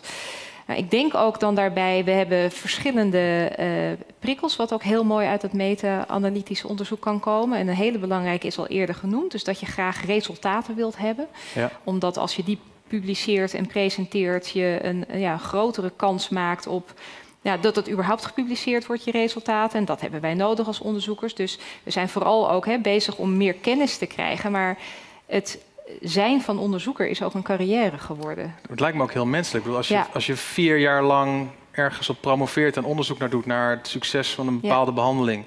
Dat wil je toch niet aan je familie en vrienden en, en collega's vertellen van nou... We weten het eigenlijk nog steeds niet. We weten het nog steeds niet. nee, nee. verschrikkelijk. Ja, en ik denk dat dat inherent dus ook zit in ja, wat wij allemaal hebben. Uh, als, in elk geval als onderzoekers. Misschien dat wij het allemaal als mens wel in ons hebben. Maar zeker onderzoekers die zijn toch van nature meer geneigd om iets te willen ontdekken. En uh, in de wetenschap is het juist ook heel erg belangrijk dat je resultaten reproduceert. Dus dat je herhaalt wat een ander heeft gevonden. En toch zitten, ja, wij, allemaal eh, hebben iets eigenwijs in ons. Dus we willen liever nieuwe dingen ontdekken dan dat we het nog een keer reproduceren. Terwijl dat minstens net zo belangrijk is. En datzelfde geldt dus ook voor dat eerdere voorbeeld waar we het over hadden. We zijn dus kennelijk ook allemaal als artsen eerder geneigd om iets nieuws te gaan doen en toe te passen. dan het omgekeerde, dat je moet stoppen met iets. Dat is veel ingewikkelder om iets van de markt af te krijgen. Dus om het handelen dusdanig te maken dat je ergens mee stopt, dan dat je ergens mee begint. Dus het zou een mooi psychologisch onderzoek zijn. ja.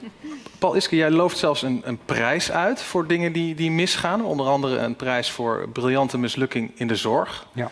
En dan uh, krijg je duizenden aanmeldingen binnen van mensen die vrolijk willen vertellen over wat er mis is gegaan? Of, of is het toch iets minder? Nou ja, het goede nieuws is dat het wel steeds makkelijker gaat. Het gaat natuurlijk wel over positieve framing. Hè? Dus om een voorbeeld te noemen, ik heb het ook meegenomen. Wij geven het Nederlands tijdschrift voor briljante mislukkingen uit.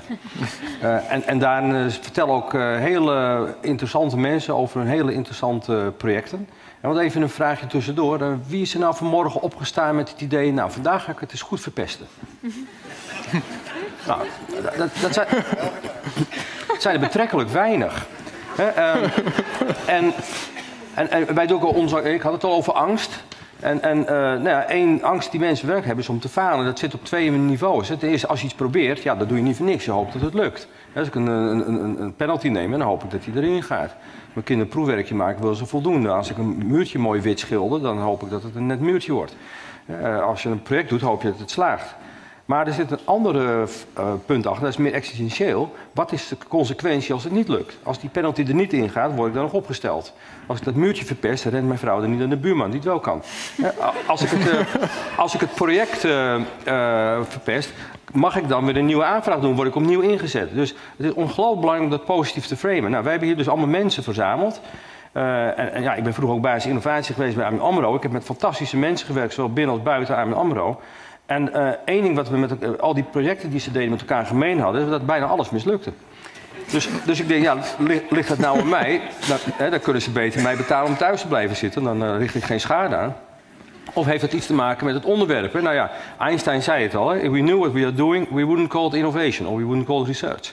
Nou, wij laten hier mensen aan het woord die uh, heel trots vertellen. En juist wat, wat, waar wij dan weer het meest trots op zijn, dat al die mensen achteraf zeggen, daar hebben we geen spijt van. Ik, heb, ik doe bijvoorbeeld ook voor bedrijven als DSM, onderzoek ik al hun briljante mislukkingen wereldwijd.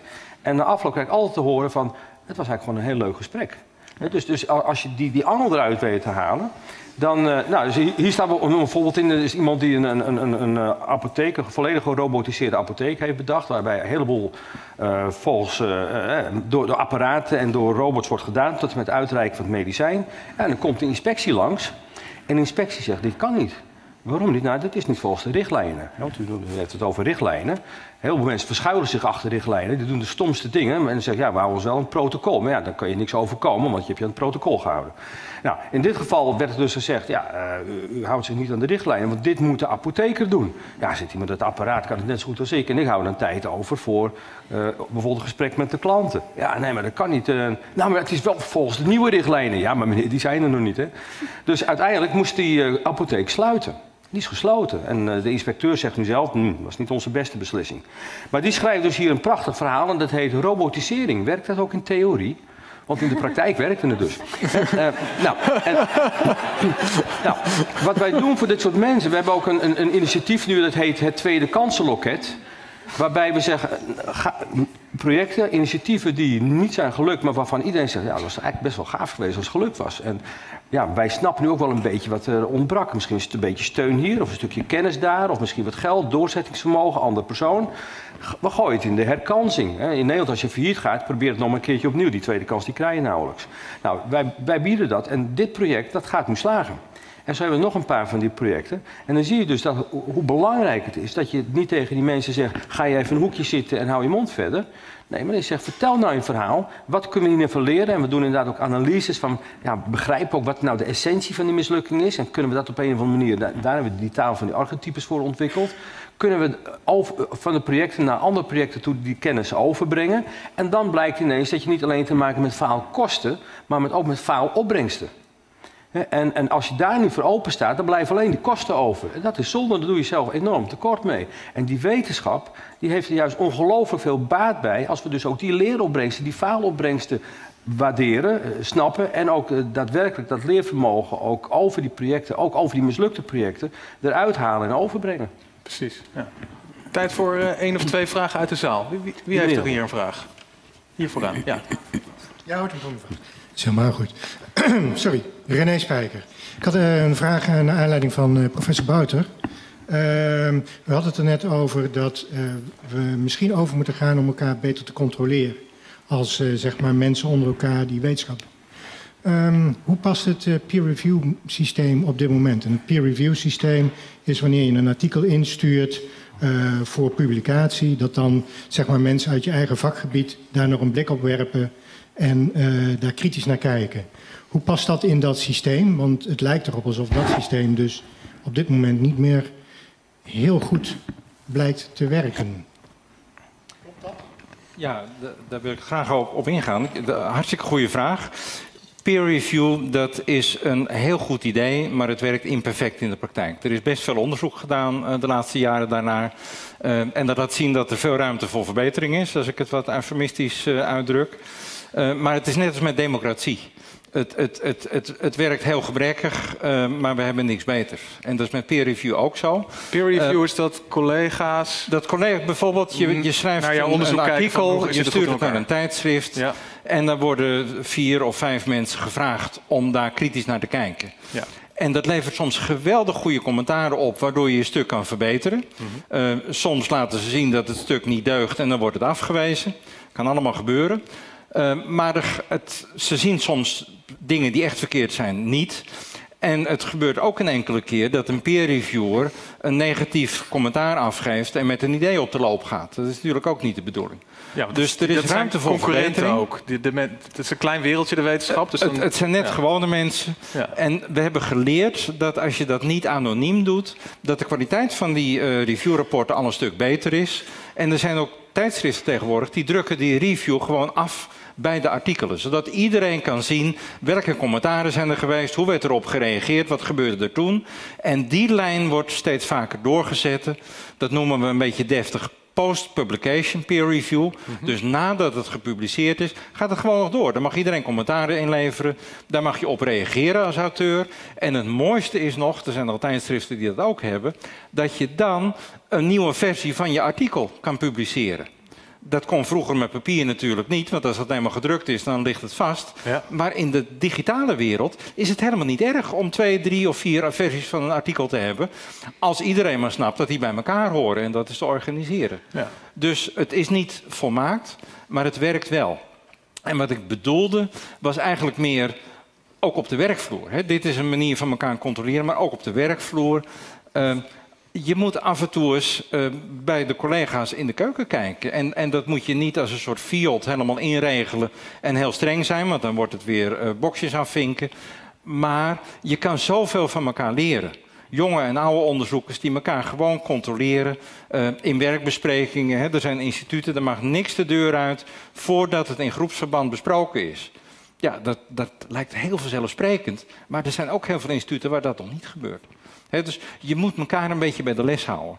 En het doel daarvan is om ja, de, de, de, de bias, hè, dat woord dat viel er net al in, in, in de quiz, de bias te elimineren. En die hebben we allemaal. Maar met elkaar doen we het een stuk beter als, als Einzelganger. Ja.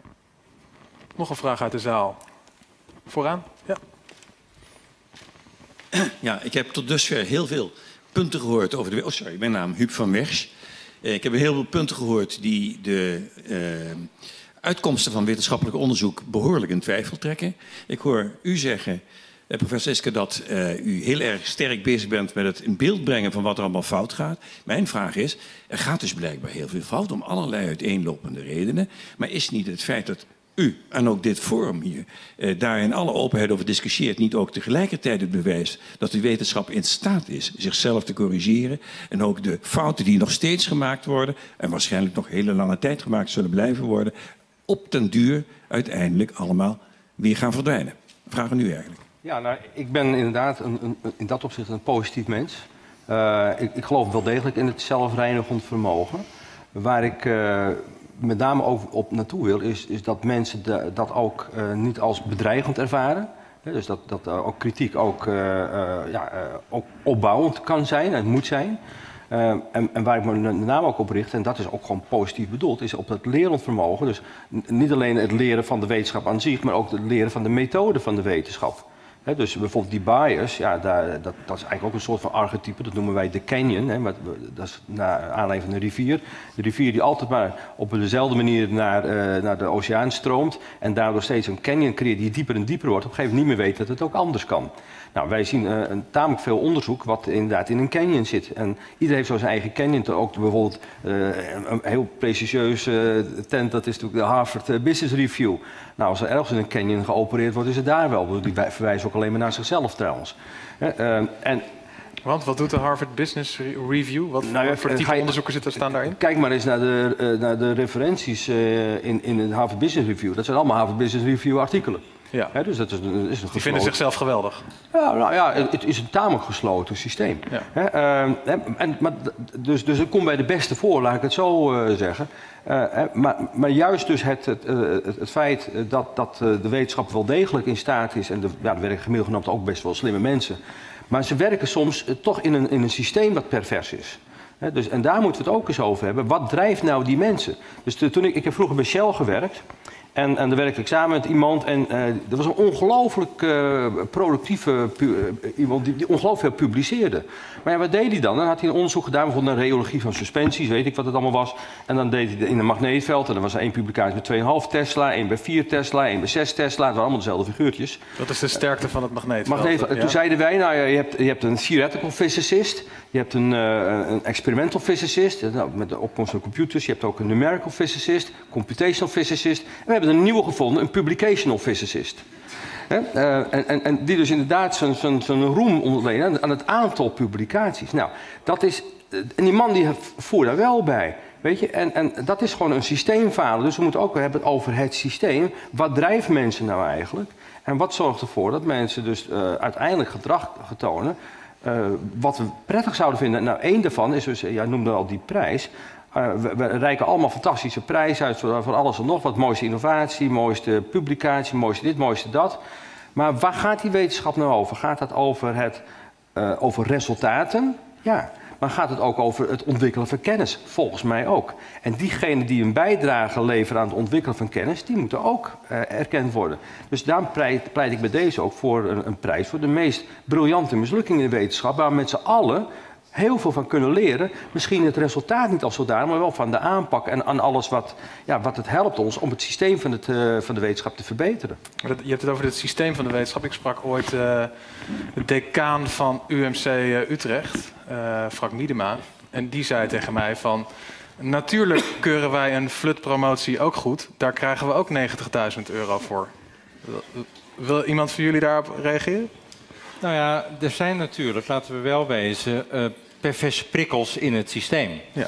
Um, en daar moeten we ook wat aan doen. Als je alleen maar uh, over promoties en vaste aanstellingen en volgende subsidies nadenkt in termen van hoe vaak wordt iemand geciteerd, mhm. dan ga je op den duur uh, het aantal citaties te belangrijk vinden. Er is niks mis met het tellen van citaties, maar het is wel verkeerd om alleen maar citaties te uh, Citaties voor een wetenschapper, dat is wanneer iemand anders naar jouw werk refereert naar jouw werk. Dus blijkbaar ben je dan goed, dat moet natuurlijk even mensen zien je. En, dat, en dat heeft ook wel een zin, want dat is de manier waarop de kennis zich verspreidt. En het is ook best aardig om die sommetjes te maken. En ik heb het zelf ook veel gedaan.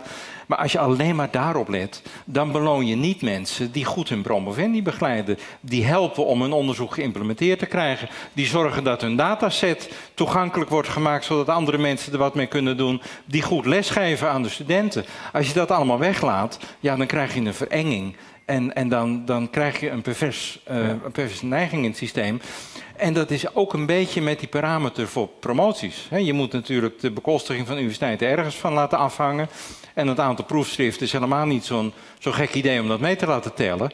Maar ja, als mensen zeggen van goh, ieder proefschrift telt en, en uh, we harken ze binnen, ja, dan krijg je excessen. Want Michel Nuiten, ik heb jou wel eens in een interview horen zeggen van. Uh, stel je kan één goed onderzoek doen met 100 proefpersonen, dan is het eigenlijk slimmer om vijf onderzoeken met 20 proefpersonen te doen want dan kan je vijf keer een wetenschappelijk artikel de wereld in helpen. Is dat ook zo'n voorbeeld van een soort ja, pervers beloningssysteem?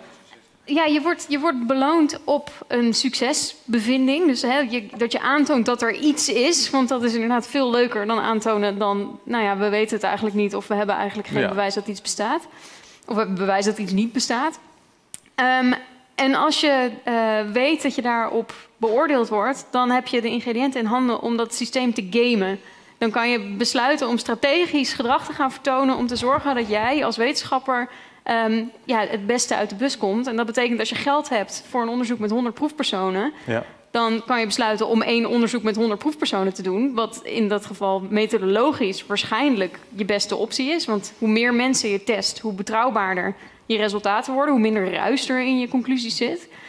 Maar als ik vijf testjes draai met twintig proefpersonen, dan zit er heel veel ruis op. Dat betekent dat die resultaten die ik vind, gaan alle kanten op. Heel maar dat betekent ook heel veel toevalstreffers. Um, maar dat betekent ook dat ik per toeval een heel groot effect kan vinden in mijn piepkleine steekproefje.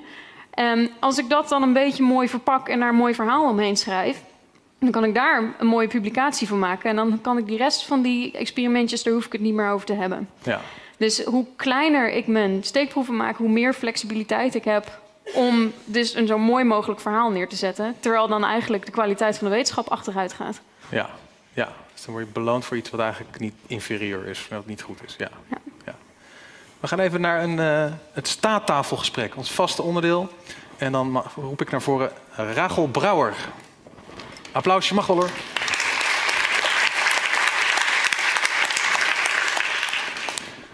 Welkom. Je bent onderzoeker bij UMC Utrecht, afdeling psychiatrie. Maar je bent gepromoveerd als wiskundige. Ja. Hoe belandt een wiskundige bij de afdeling psychiatrie?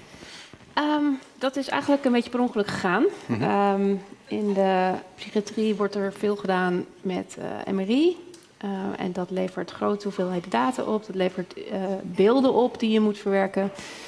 Um, en er komt een hele, hoop, een hele hoop statistiek bij kijken. Ja.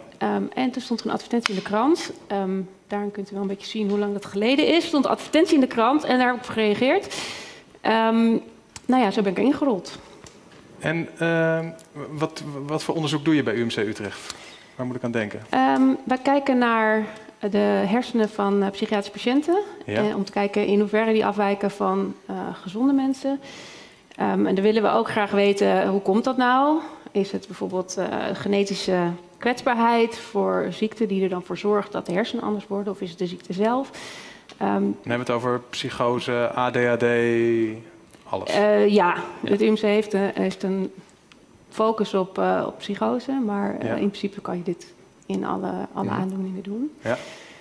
Um, en een van, van mijn taken is ook ondersteunen van, van andere mensen die het onderzoek dan moeten uitvoeren vervolgens. Ja. En wat zijn typische vragen waar ze dan bij jou bij aankloppen? Van hoe moeten we dit onderzoek goed doen? Ja, meestal komen ze, mag ik even komen praten? En dan zeggen ze, ja, ik heb twee groepen, welke test moet ik nu uitvoeren? Ja. Um, ja, dan ga ik altijd eerst weer helemaal terug van wat ben je eigenlijk aan het onderzoeken, waar komt die data vandaan en wat kun je daarover vertellen. Dat vinden ze allemaal heel vervelend, want ze willen eigenlijk gewoon weten, ja, je moet testen ei of... Uh... Want dan willen ze weten, verzorgt iets in hersengebied puntje, puntje ervoor dat mensen eerder een psychose krijgen? Bijvoorbeeld, dat, dat, zijn, de, dat zijn de vragen. Ja. Uh, maar daar gaat het eigenlijk al meteen fout. Um, Vertel, wat gaat er fout dan? Nou ja, kijk, stel ik, ik sta hier te vertellen, ik uh, doe onderzoek naar het verband tussen uh, leefomgeving en, en het hebben van een depressie. Mm -hmm. Nou, dan praten we nog even verder. En als iedereen naar huis gaat, dan wat, wat, wat, wat, deed, wat deed zij nou? Ja, ze gingen kijken of de leefomgeving eh, bijdraagt aan, uh, aan of mensen een depressie krijgen. Ja, dat... En dat klinkt heel erg hetzelfde, hè? maar het is het helemaal niet. Want het begon met een verband. En in een verband zit helemaal geen oorzaak-gevolgrelatie. Ja. Maar door de manier waarop we erover praten, en dat doe ik zelf ook, ga je toch sturing geven aan. Het zal die omgeving zijn die die depressie veroorzaakt. Terwijl het ook andersom kan zijn dat depressieve mensen in een ander type omgeving terechtkomen door hoe ze zich gedragen. Zoals ik zou zeggen, uh, mensen die in een stedelijke omgeving leven, zijn vaker depressief dan mensen die op het. Nee, die zijn, vaker, vaker depressief dan mensen die op het platteland wonen. Dan denk je meteen in je hoofd van dat komt dus door die stedelijke omgeving. Dat, precies, dat is wat er in je hoofd gebeurt. Ja. En dat gebeurt ook in het hoofd van wetenschappers. Um, en heel vaak zetten we dan nog in de limitaties wel bij, ja, we kijken naar een associatie, dus of er een verband is, daar zit geen richting aan. Ja. Maar dat soort nuancering verdwijnt meteen als het, je het iemand anders moet uitleggen of als er een, een persreport over geschreven wordt of wat dan ook. Want als ik ontdek dat mensen in de stad vaker depressief zijn dan mensen op het platteland, dan, waarom zou dan, kan er dan een andere oorzaak zijn dan die stad? Nou, het kan ook zijn dat mensen die een depressie hebben naar de stad verhuizen. Omdat daar gespecialiseerde depressieklinieken zijn. Ja, ah ja noem maar iets heel... Iets heel, ja. heel, ja. bijvoorbeeld. En dat moet je wel allemaal uh, weten. Ja. Jullie, um, jullie, doen ook veel onderzoeken naar tweelingen. Waarom tweelingen? Uh, omdat tweelingen iets kunnen zeggen over de genetische achtergrond van uh, een bepaalde aandoening waar je bijvoorbeeld naar kijkt. Mm -hmm. um, tweelingen die delen hun volledige genetische achtergrond, in ieder geval bijna helemaal. En twee eigen tweelingen zijn net als broer en zus, die delen gemiddeld 50% van hun genen. Dus als je gaat kijken naar hoeveel lijken twee een-eigen tweelingen op elkaar, en dat zet je af tegen de twee eigen tweelingen, lijken die nou iets minder op elkaar, dan kun je zeggen van nou, dan is het heel waarschijnlijk dat er een genetische achtergrond is. Ja. En, en methodologisch gezien, wat is nou typisch iets wat mis kan gaan bij hersenonderzoek of bij tweelingonderzoek? Iets wat je gewoon heel vaak is sowieso heel, uh, heel lastig. Um, want wat je daar hebt is dat je meet mensen die verwant zijn. Ja. En dan zijn ze afhankelijk. En de, eigenlijk alle statistiek standaard die je gebruikt, die gaat ervan uit dat data onafhankelijk is. Dat is een van de basisaannames. Ja. Want anders is het net alsof ik honderd keer dezelfde persoon zit te meten. En denk je, nou, ik weet heel zeker wat er gebeurt, want ik, heb, ik weet heel precies. Ja. je eigenlijk honderd keer het, hetzelfde doet dat is een heel extreem voorbeeld. Als je iemand honderd keer meet, je, ik meet mezelf en mijn eigen tweeling. Ja, als wij heel erg op elkaar lijken, dan is dat helemaal geen nieuwe informatie. Ja. Um, dus dat, dat gaat, dat gaat uh, vaak fout. Um, maar wat er veel vaker fout gaat, naar mijn idee, is um, dat het antwoord op de vraag, namelijk is A de oorzaak van B helemaal niet uit data gehaald kan worden met de beste van de wil van de wereld niet. Ja. Um, en dat is het probleem van mensgebonden onderzoek, dat je gewoon heel weinig interventies kan doen. Het is heel lastig om. Want je zou dan het liefst een experiment willen doen, nou, om het voorbeeld van net aan te halen. We gaan allemaal mensen die heel erg op elkaar lijken, dan daarvan zeggen tegen de helft: jij moet nu in de stad gaan wonen. En de andere helft: jij moet op het platteland gaan wonen. En dan gaan we eens kijken wie er depressief wordt. Dat zou dan een soort net-experiment ja, zijn. Dat zou een soort van net-experiment, maar dat je in de praktijk natuurlijk nooit maar Dat willen die mensen dan niet, hè? Ja, vervelend, ja. ja. Flauw van die proefpersonen van tegenwoordig. Ja. En uh, ja, is, is, is de gemiddelde hersenwetenschapper is die een beetje goed in statistiek? Of, of, of, of, of klopt ze echt op de deur? Please, help. Um, het, het, wisselt. Het wisselt. Uh, ik moet morgen met mijn collega's ook koffie drinken. Ja, dus ja, ja. Een beetje, uh... Collega's op de livestream. um, nou, laat ik zeggen dat heel veel studenten die wij binnenkrijgen... dat die eigenlijk uh, weinig geschoold zijn daarin. En als ze wel geschoold zijn daarin, dan zijn ze heel erg volgens de regels. En dan zeggen ze...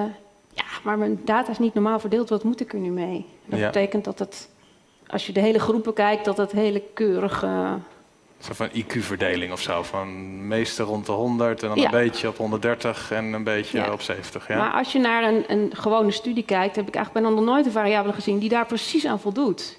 En het is heel vaak ook niet zo heel erg. Ja. Maar eh, dat moet je wel, ja, moet je ervaring krijgen in wanneer je dat, wanneer dat wel erg is en wanneer dat niet erg is. En daar kun je natuurlijk eindeloos over discussiëren. Um, maar daar worden mensen helemaal niet in getraind.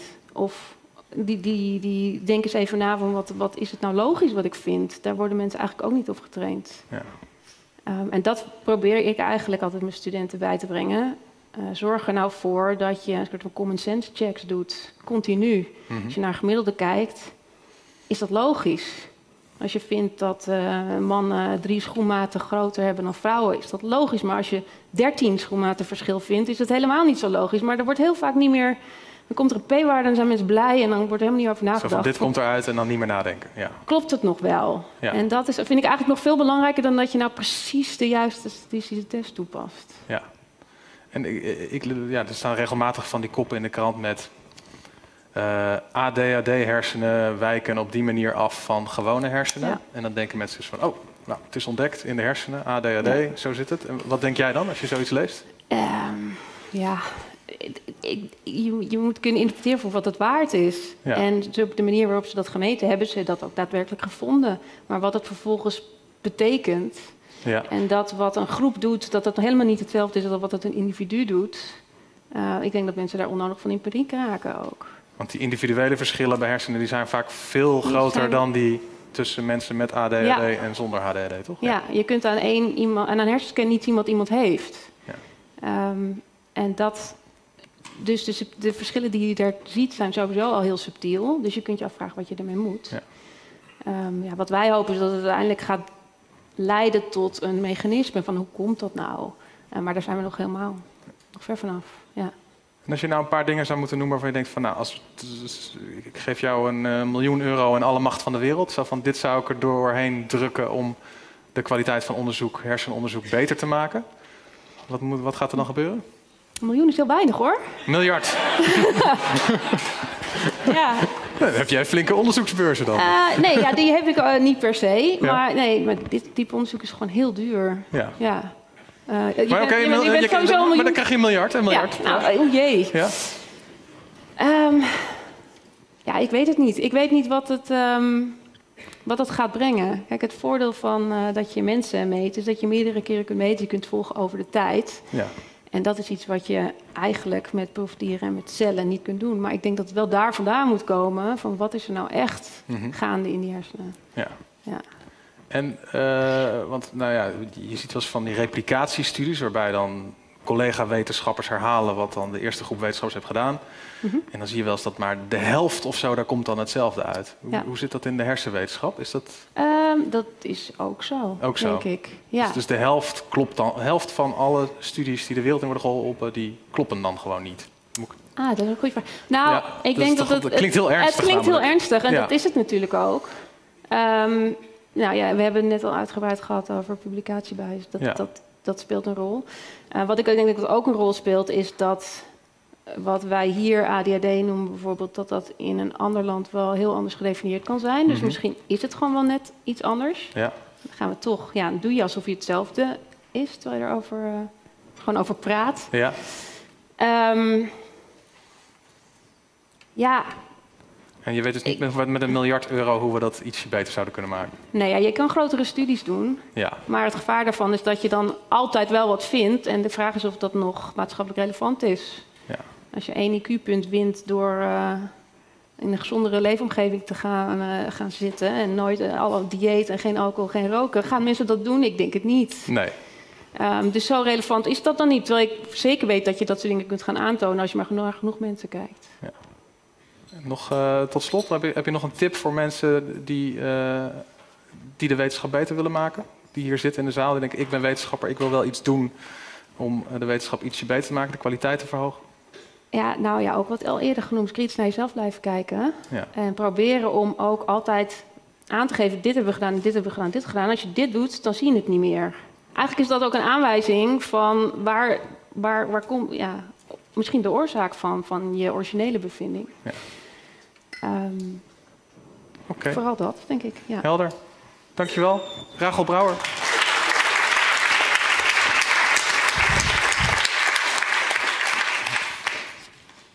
Uh, Rachel Brouwer noemde net ook al even het voorbeeld zo van... ja, dan heb je iets ontdekt, maar dan heeft het eigenlijk nul relevantie voor de praktijk. Uh, uh, Lottie, ken jij, mij daar, ken, ken, jij daar een voorbeeld van? Van iets wat dan gewoon wetenschappelijk helemaal klopt? En daar wordt dan een paper geschreven en dan geeft iedereen je schouderklopjes... en dan in de praktijk heb je er gewoon eigenlijk helemaal niks aan? Ja, ik ben uh, nu hard op zoek naar een, een, een goed beeldend uh, voorbeeld. Waarom weer in verlagen van bloeddruk te blijven. Ja. Uh, zonder al te veel details te treden, maar er zijn wel studies die gedaan worden. Bepaalde interventies die dan kijken of je die bloeddruk omlaag kunt krijgen. Wat uh, voor ons allemaal heel gezond is, want we hebben bepaalde bloeddrukstreefwaarden waarvan we weten dat als we daaronder blijven, dan is ons risico op allerlei vervelende kwalen een stuk lager dan als je daarboven zit. En met name bijvoorbeeld allerlei cardiovasculaire gerelateerde aandoeningen. Nou, dus dan kan er heel significant uitkomen dat je door het nemen van een uh, andere pil of het toepassen van een ander type interventie je die bloeddruk ook daadwerkelijk omlaag kunt krijgen. Maar dat hoeft helemaal zeggen, niet. dat is goed. Ja, dat, ja. dat is goed, hè, want ja. hij gaat omlaag. Maar dat hoeft helemaal niet een klinisch relevant verschil te zijn. Dus met andere woorden, ook al gaat hij omlaag, dat hoeft niet te betekenen dat ook daadwerkelijk je risico's die daarbij horen omlaag gaan. En uh, dan hebben we, we hebben het al eerder gehad hè, over die associaties tussen bepaalde waarden die we hebben en bepaalde uitkomsten. Daarom is bloeddruk zo'n fijn voorbeeld. We weten dat daar een hele sterke associatie tussen bestaat. Dus we weten dat het is aangetoond dat het hebben van een hoge bloeddruk bepaalde risicofactoren met zich meebrengen. Dus dat je een grotere kans krijgt op andere nadelige effecten. Dus die, die associatie die hebben we. Maar het blijft nog altijd een link tussen het een en het ander. Wat we daadwerkelijk klinisch relevant vinden is dat u niet uh, neervalt met een hartaanval of uh, nou, iets, uh, iets anders gerelateerd. Dat is wat we echt belangrijk vinden en niet per se dat die bloeddruk omlaag gaat. Dus op het moment dat in die helezelfde groep mensen waar die bloeddruk omlaag is gegaan, dat daadwerkelijke klinisch relevante eindpunt onveranderd blijft, dan heb je eigenlijk niet echt daadwerkelijk iets veranderd aan, het, uh, aan de klinische praktijk, dus aan de relevantie daarvan, maar mogelijk wel uh, de kosten van de gezondheidszorg omhoog geholpen. Ja, en dan kan het dus zo zijn dat als je dit onderzoek uitvoert en je meet ook van leven mensen dan gezonder, langer, krijgen ze minder hartaanvallen en gaat de bloeddruk omlaag. En uh, mensen leven helemaal niet gezonder en langer en er zijn helemaal niet minder hartaanvallen, maar de bloeddruk gaat wel omlaag dat je dat dan groot in de kop van je artikel zet van ik heb iets gevonden om de bloeddruk te verlagen. Ja, dat kan. En ja. zeker in het verleden zal dat ongetwijfeld uh, regelmatig uh, gebeurd zijn. En ik durf niet met 100% garantie te zeggen dat het nu helemaal niet meer gebeurt. Maar naast dat wij Cochrane zijn, beheren we ook het uh, Nederlands Trial Register. Dat is onderdeel van een groot internationaal register dat nou, wordt gehost door de Wereldgezondheidszorg, ja, de, WHO. Um, in elk geval, wat je daarbij doet, is dat je een protocol van tevoren aanmeldt. Dus je moet tegenwoordig meer openheid van zaken vooraf geven. Dus je moet precies zeggen, zoveel mensen, dit ga ik meten ja. en niks anders. Exact. Ja. Dus dan kan je, want er komt dan een nummer in een publicatie te staan, dus dan kan je terugzoeken waren ze dit ook daadwerkelijk van plan of hebben ze naar meer gekeken? Dus dat is in elk geval één, één ding om iets meer van die transparantie te krijgen. Mm -hmm. um, nou, dus dat is heel erg, uh, heel erg van belang. En natuurlijk moeten we allemaal veel meer de reflex weer gaan krijgen om ook echt te kijken naar wat is klinisch relevant. En dan daarbij, en dat is nog weer een extra stap die het misschien iets moeilijker maakt, dat wij als uh, wetenschappers en als artsen ook af en toe pas op de plaats moeten nemen en niet altijd maar zelf moeten bepalen wat wij nou klinisch relevante uitkomsten vinden, maar ook gewoon eens aan patiënten vragen wat ze belangrijk vinden. Ja. Dus, uh, Want dan ja. kan dan heel iets anders uitkomen? Ja, en dat is echt verrassend hoeveel andere de, informatie daaruit kan komen. Ik zou denken als ja. dokter minder pijn is goed, beter kunnen bewegen is goed. Maar als je dan een patiënt vraagt, kan er ineens heel iets anders uitkomen? Daar kan bijvoorbeeld uitkomen van vanaf wanneer kan ik weer beter doorslapen. Want ik heb echt ontzettend veel last van het feit dat ik niet slaap. Ja. En het interesseert mij eigenlijk bijvoorbeeld als je een frozen shoulder hebt. Het interesseert mij even niet ja, ik hoor gelachen, die heb ik toevallig. Maar, ja. Ehm, dan interesseert het je als patiënt misschien niet zoveel wanneer de klachten in zijn totaliteit over zijn. Dus wanneer kan je weer meer of beter bewegen. Maar wil je misschien ook al een tussentijdse maat weten. Dus vanaf wanneer ben je van die pijn af dat je weer kan doorslapen.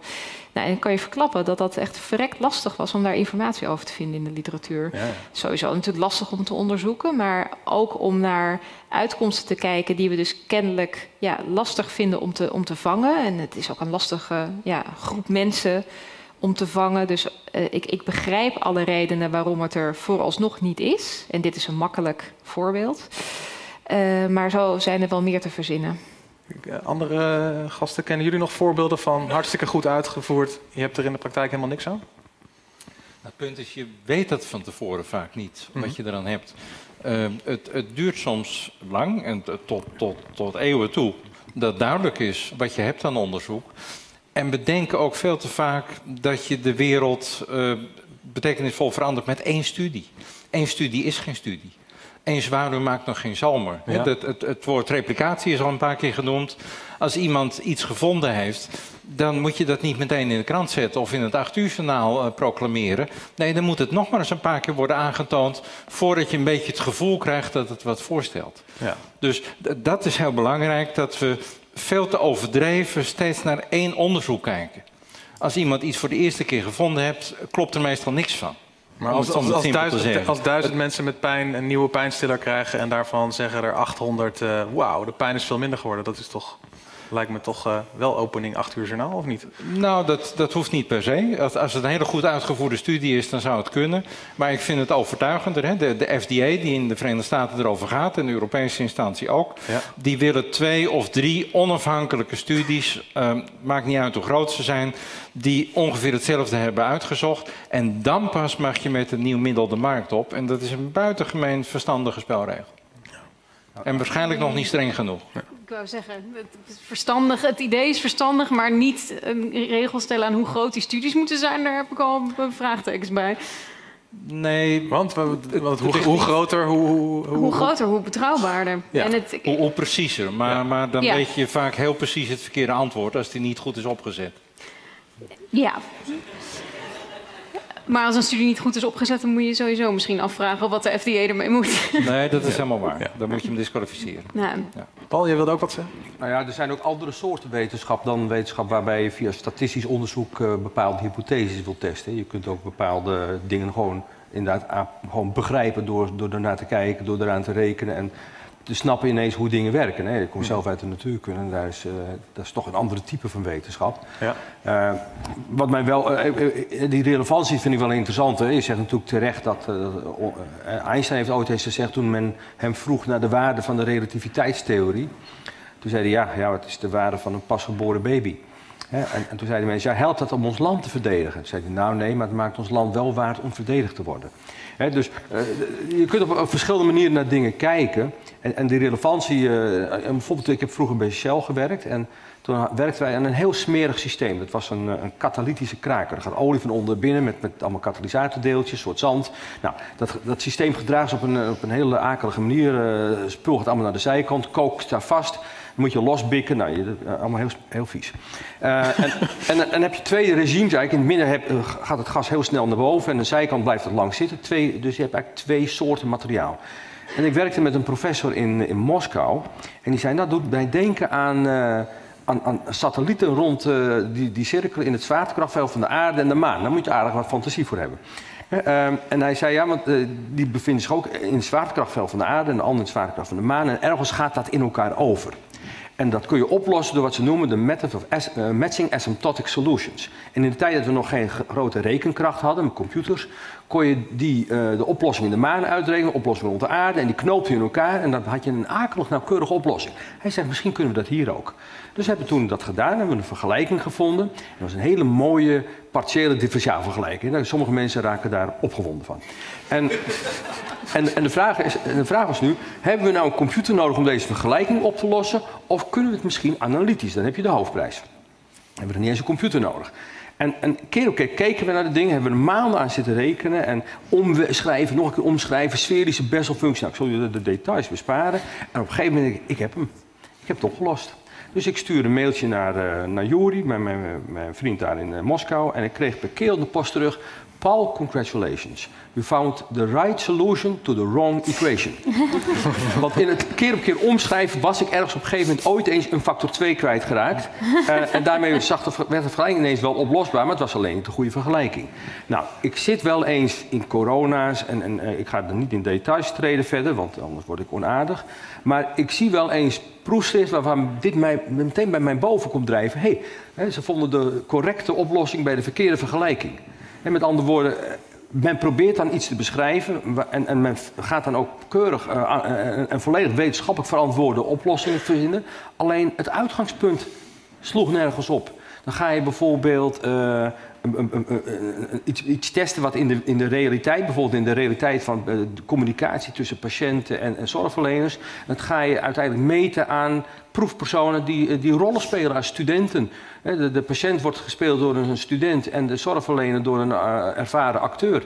En dan ga je dingen aan meten en denk je, ja, maar hoe relevant is dit nou eigenlijk? Ja. En als je er nou wat van zegt, zeg je, ja, maar dat, het is helemaal goed uitgerekend. Er zit geen rekenfout in. Jij maakt er nog een rekenfout met, met die katalytische kraker van je.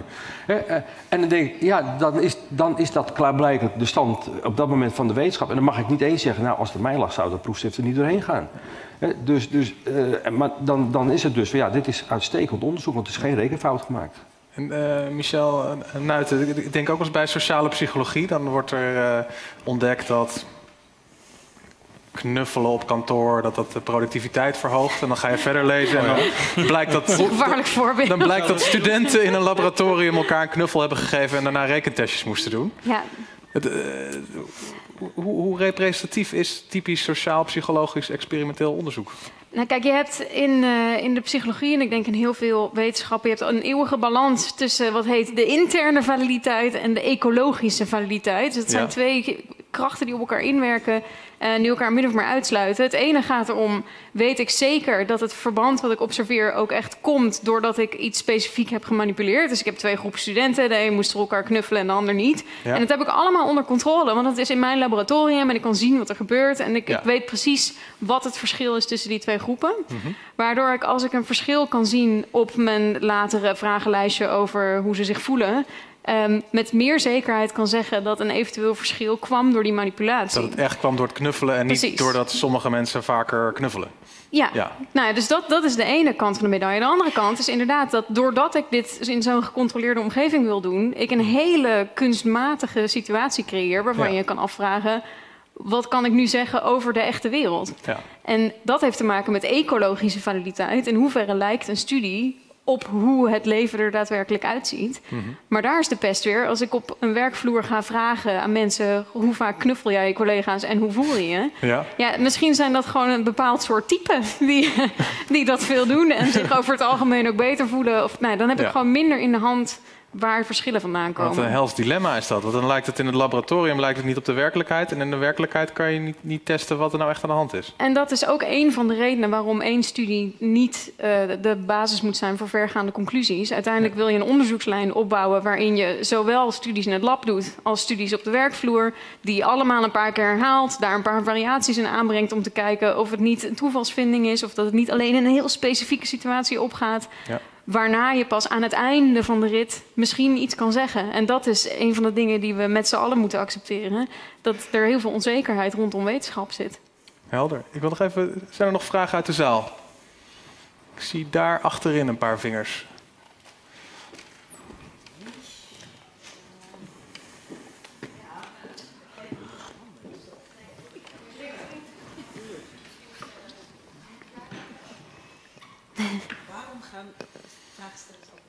Um,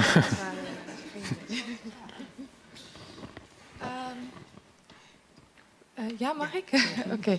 Um, uh, goedenavond. Ik uh, had eigenlijk een vraag voor een heleboel mooie dingen... Uh, waar denk ik inderdaad een heleboel wetenschappers tegenaan lopen. Waaronder publicatiedruk...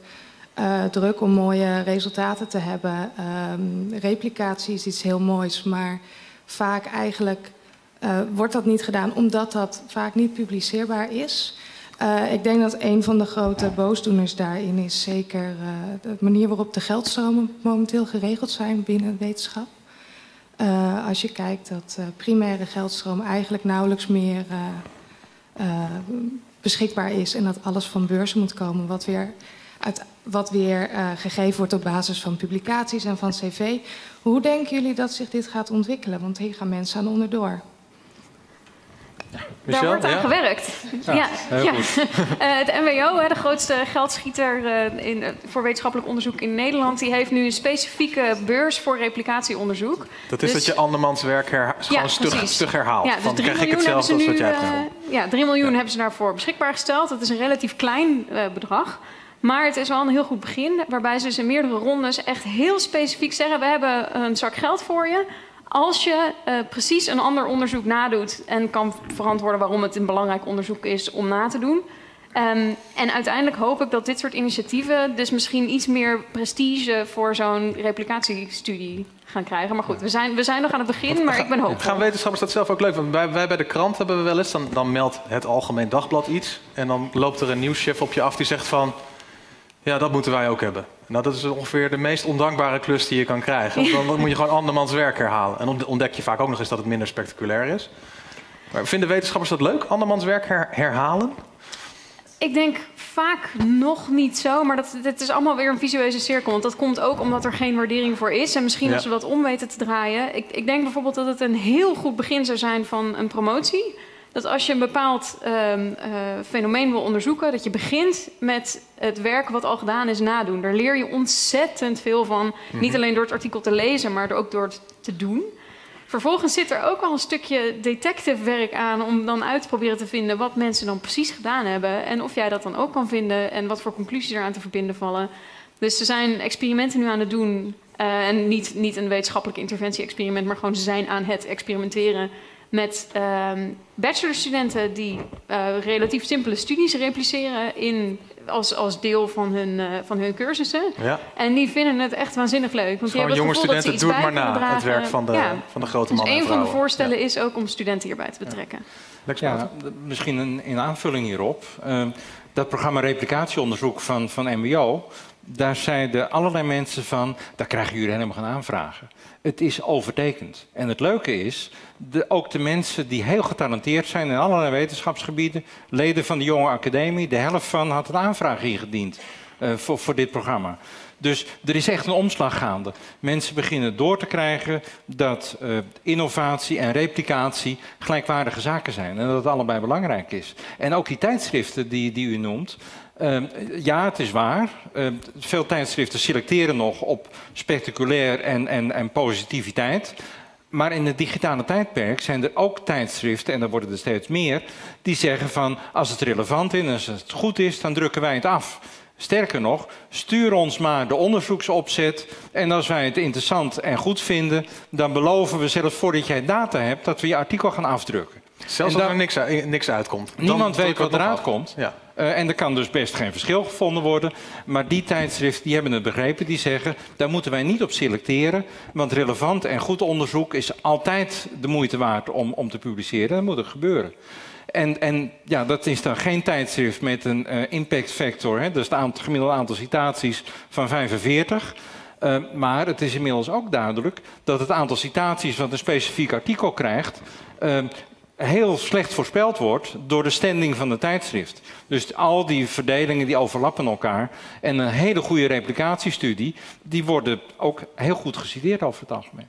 Okay, dus het imago daarvan is aan het, het veranderen? Het is aan het veranderen. Het is aan het kantelen en ik ben het helemaal met jou eens wat dat betreft. Lottie Hoofd? Ja, ja, heel kort wil ik daar wel aan toevoegen dat het een, eh, een eh, hele terechte en valide vraag is. Want dit gaat echt dan heel specifiek om de replicatiestudies.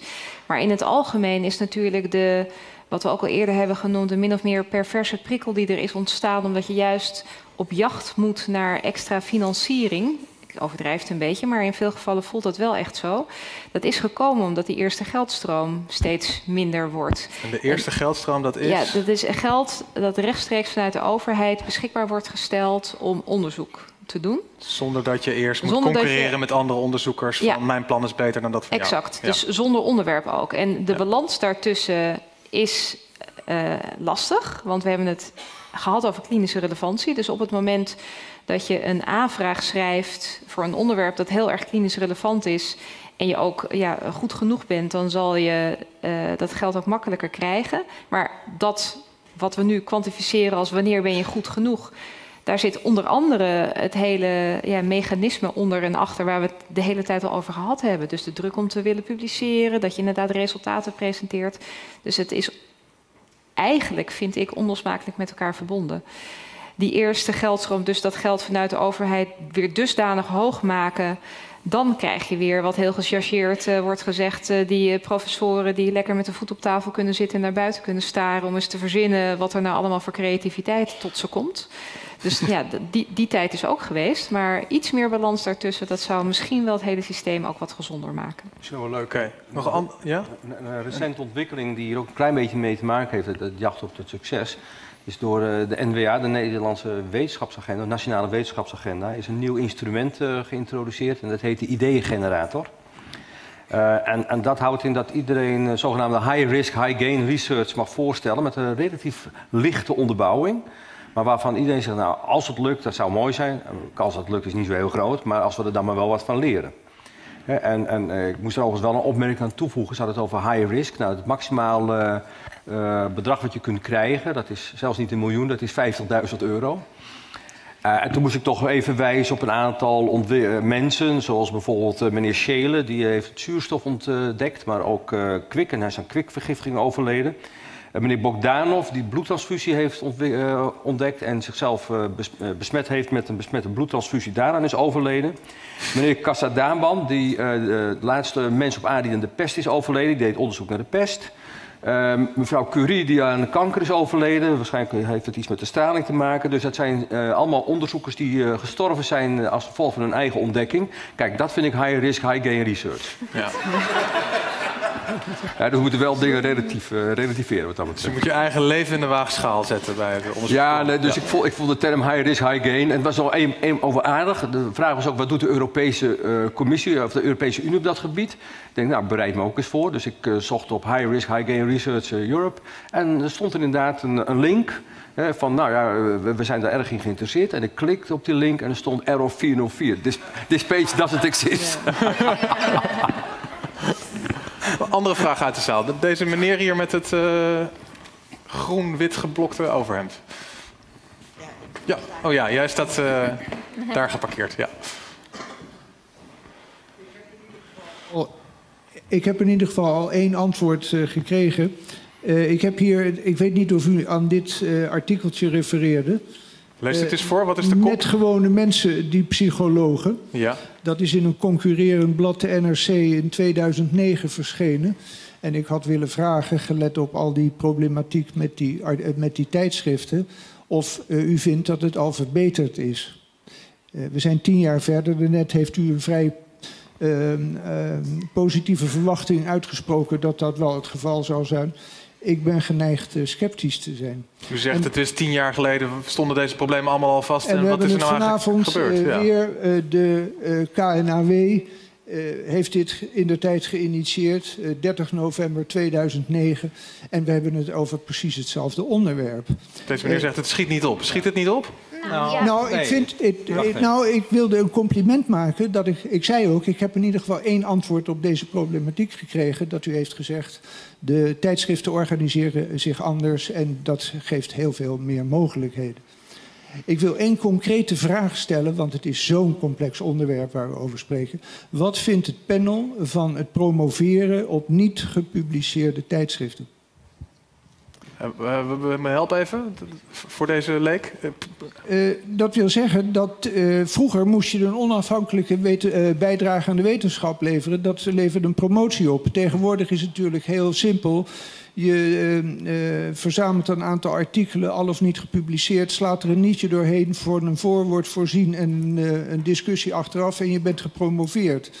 Ik kom regelmatig tegen dat men promoveert zelfs op niet gepubliceerde, dus nog submitted artikelen. Wat ja. vindt u daarvan? Waar dus nog geen vakcollega's naar hebben gekeken, überhaupt. Ja. Nou, misschien eerst de, de algemene zaak. Ik, ik kan er één ding over zeggen. Ik, ik spreek nu ongeveer vijf jaar lang over het onderwerp. En vijf jaar geleden, als ik een verhaal hield uh, in de zin zoals we vanavond bespraken, kreeg ik altijd kritiek uit de zaal van dit is een nestbevuiling, u overdrijft, in onze discipline gebeurt dat niet, dat doen ze alleen bij de buren, enzovoort enzoverder. Nu, als ik er een verhaal over hou, ook bij bestuurders, uh, dan zeggen ze van ja, dat weten we allemaal wel, maar vertel ons nou eens hoe we het moeten oplossen. En ja, de problemen zijn nog niet opgelost, maar ik ben een optimistisch mens. Uh, het gaat echt de goede kant op. Uh, jonge onderzoekers die je hierover spreekt, die willen allemaal vreselijk graag de goede dingen doen. Dat zijn ook gewone mensen, die maken fouten. Maar ik ben ervan overtuigd dat er echt een beweging gaande is uh, de goede kant op. Het zal nooit helemaal afkomen, natuurlijk niet. En, en uw tweede ding, dat, dat vind ik ook interessant. Uh, nou, vroeger was misschien alles beter. Maar in dit opzicht denk ik niet. Proefschriften bestaande uit artikelen zijn natuurlijk minder ambitieus in zekere zin als een opus magnus, uh, wat mensen vroeger na 10, 20 jaar uh, hard nadenken misschien konden produceren. In sommige disciplines gebeurt dat nog steeds. Maar een proefschrift is een proeven van bekwaamheid in het beoefenen van de wetenschap. Dat hoeft niet helemaal uh, tergend uh, geweldig te zijn. Het moet gewoon laten zien dat je een, vak beheerst, dat je een, een, een, gereedschapskist goed gevuld hebt. Dus diversiteit vind ik juist belangrijk daarin. En, en vier, vijf of zes artikelen die allemaal andere methodes gebruikt hebben, vind ik juist prachtig. En dan maakt het me niks uit of ze al wel of niet gepubliceerd zijn, want dat duurt vaak een tijdje. Maar daardoor is natuurlijk, missen we de, uh, uh, het kritisch oog van mensen die dan uh, daar wat van zouden kunnen zeggen. Nou, het idee is dat een leescommissie of een manuscriptcommissie daar naar kijkt. Ik, ik weet dat dat soms misgaat. Het wordt ook weer, is ook weer uh, peer review werk. Uh, maar dat is wel de bedoeling. En ook als dingen gepubliceerd zijn, ik hoop dat ik nou niet iets heel provocerend zeg, dan deugt er soms ook niks van. Uh, ja, Lottie, en dan ga ik nog naar haar vraag in de zaal. Ja, het is een, hele korte aanvulling. Het is namelijk uh, een aanvulling op het eerste deel van hoe gaat het nou nu verder wat uh, betreft de, de medische tijdschriften. Wat nu echt op het punt staat om veranderd te krijgen, en dat heeft inderdaad behoorlijk wat tijd geduurd, is dat er in die trialregisters nu ook moet worden vermeld of je een data sharing plan hebt. Dus met andere woorden, in eerste instantie, dat is stap 1, moet je gaan melden, ga je het ergens delen? Punt. Meer is nog niet nodig. Maar dit is natuurlijk de opmaat naar dat je je data steeds meer en meer verplicht moet gaan stellen. Dus het is niet meer alleen ja, die mooie samenvatting van uh, zes, zeven kantjes, waarin zelf alle analyses zijn uitgevoerd, maar echt de ruwe data moeten steeds meer en meer uh, vrijgesteld gaan dus van, geven. Dus van elke proefpersoon elk Ja. urinemonster wat eruit kwam, Ja, elke en vragenlijst. En... Uiteraard dan wel geana- eh, geanonimiseerd. Ja. Maar dat is wel de wereld waar we naartoe gaan. En eh, dan wordt het spe- speelveld heel anders natuurlijk. Ja. Want het speelveld wordt anders omdat je elkaar veel beter kunt controleren. Ja, omdat je dan een replicatiestudie, want daar heb je ook weer allerlei verschillende types in. Je kan het repliceren echt op de bestaande data van die studie. Je gaat de analyses opnieuw doen. Want ook bij het maken van, eh, ana- analyse, eh, van je analyses, uitvoeren van je analyses, heeft Michel net al heel duidelijk gezegd, kan je bepaalde keuzes maken. Het is niet one size fits all. Daar kan je nou, beslissingen in nemen die kunnen afwijken, zeker als het niet goed is gerapporteerd. En het andere is dat je het kan repliceren, dat je precies hetzelfde protocol gaat uitvoeren, maar dan met andere patiënten. Dus dat zijn wel even duidelijk gesteld twee verschillende types. En die eerste variant, dus de analyses overdoen op diezelfde dataset, kan dan. Dus dat is al een uh, hele grote winst. Oké, is er ruimte voor één of twee vragen uit de zaal? Brand achter je aan. Ja? Dat is wel belangrijk. Eh, eh, Het is ongelooflijk belangrijk dat, inderdaad dat, die, da- dat die transparantie er komt, dat die data gedeeld worden. Maar ik, ik zit ook in de adviesraad, eh, de wetenschappelijke adviesraad van de Hartstichting bijvoorbeeld. En we krijgen ook heel veel projecten en projectplannen en die moeten, over, eh, hè, die moeten geëvalueerd worden.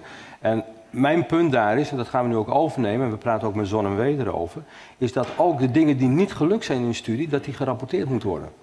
Eh, de- eh, eh, wegen die men ingeslaan eh, heeft en, en die uiteindelijk tot niks geleid hebben.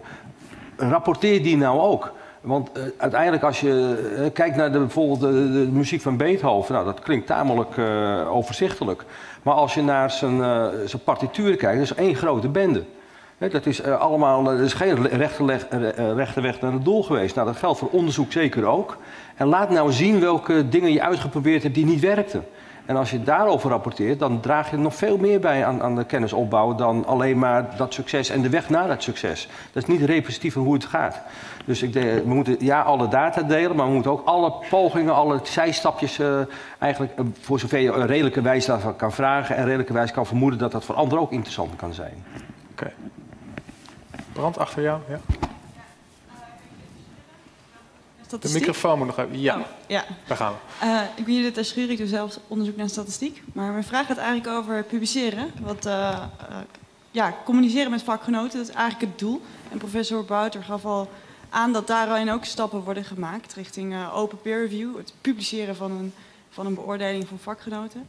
Nou, ken ik al twee platforms die dat verder doortrekken. De een heet F1000 voor biomedisch onderzoek en een heet SciPost voor natuurkundig onderzoek. Uh, die laatste is opgericht door een Amsterdamse natuurkundeprofessor in zijn vrije tijd. En ik kan daar heel mooi over vertellen. En wat hij eigenlijk zegt, wat Mart net ook zei over de media.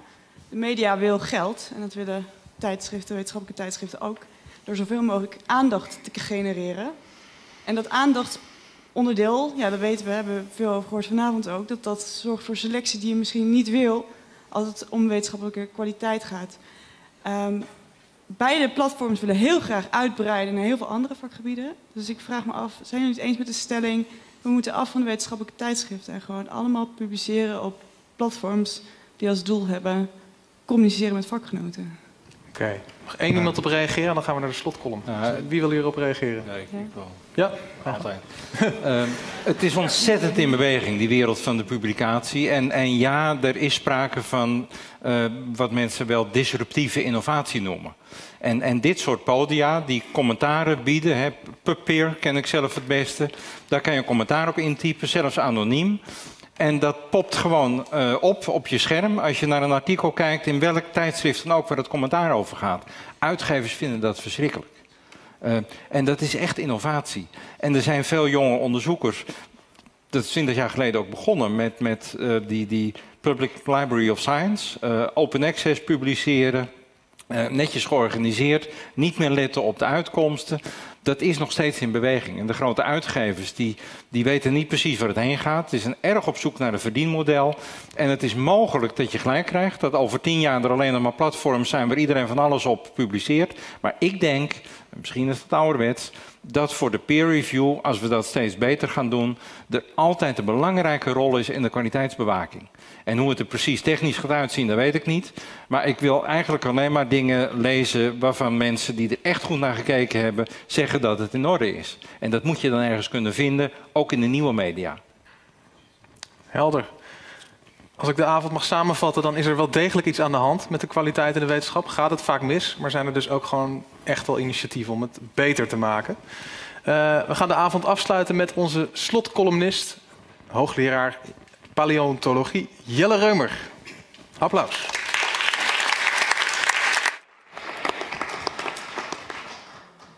Nee. Nee, ik ga het vanavond niet hebben over die hoogleraar van de Katholieke Universiteit Tilburg, die nu geen hoogleraar meer is. En ook niet over zijn collega van de Radboud Universiteit, die ooit beweerde dat je van vlees eten agressief wordt.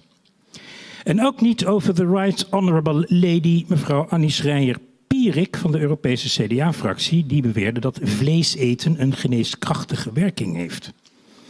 Dat is allemaal geen wetenschap, hooguit lulkoek.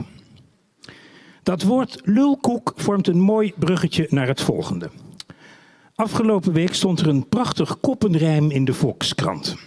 Onderaan de linkerpagina werd dit kenniscafé aangekondigd. Een avond over rammelend onderzoek en hoe het beter moet. Met topwetenschappers en een heuse Chief Failure Officer, zo werd vermeld. En ze zitten hier schuin daarboven, op diezelfde pagina. En niet te missen, de kop orale seks lijkt kans op miskraam te verkleinen. Dat was een bericht waar heel mannelijk Nederland zich de vingers bij aflikte. Want de simpele conclusie lijkt dat er meer gepijpt moet worden ten einde het nodige zwangerschapsleed te voorkomen. Dat dan dus eigenlijk onnodig leed is, zo wil dit bericht doen geloven. Meteen sprong een pintere wetenschapsjournalist van de NRC er bovenop en ging een beetje factchecken. Het bleek dat de statistiek eigenlijk op een te kleine steekproef was gefundeerd en dat de bewering dat pijpen helpt daardoor ongefundeerd is. Jammer jongens. Maar de pinteraar van de NRC had een slimmigheidje van de Volkskrant-redactie over het hoofd gezien. Het woordje lijkt. Er stond niet dat fellatio de kans op een miskraam blijkt te verkleinen, maar dat lijkt te doen. Eén letterverschil maakt dat er een totaal andere bewering staat. En dat hier iets lijkt, kun je moeilijk ongefundeerd noemen. Wetenschappers bedienen zich buitengewoon vaak van termen die omvloerst aangeven dat er geen 100% zekerheid is. We suggest. The authors propose. Our working hypothesis is. Possibly. Supposedly. It seems that. The results of our analysis appear to suggest that. En zo kan ik nog wel even doorgaan. In veel gevallen eindigt het artikel waarin dit staat met een zinsnede dat de voorlopige en statistisch nog iets wat onzekere conclusie moet leiden tot vervolgonderzoek. More research is needed. Het gaat daarna mis wanneer zo'n voorlopige conclusie wordt overgenomen in een volgend artikel of in een mediabericht, maar dan met een iets minder omvloerst geformuleerde onzekerheidsmarge. En dat gaat daarna snel een eigen leven leiden. De onzekerheid wordt zekerheid en daarna waarheid. En sindsdien leidt inenten tegen de mazelen tot autisme. Dat krijg je ervan. Ik ben nu benieuwd hoe snel de statistisch rammelende conclusie van het Leidse pijponderzoek tot onfeilbaar mantra wordt verheven en de film Deep Throat als voorlichtingsfilm wordt heruitgebracht. Dank u wel.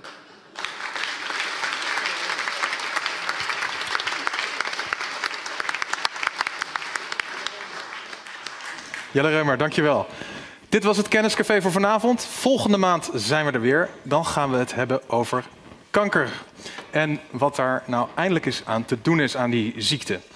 Uh, dank aan onze gasten van vanavond. Lottie Hoofd, Michel Nuiten, Lex Bouter, Paul Iske en Rachel Brouwer. Quizmaster Mart Vogel, columniste Maarten Keulemans en Jelle Reumer. En ik hoop jullie allemaal 20 mei weer te zien bij het volgende Kenniscafé... dat gepresenteerd wordt door mijn collega Maarten Keulemans. Bedankt.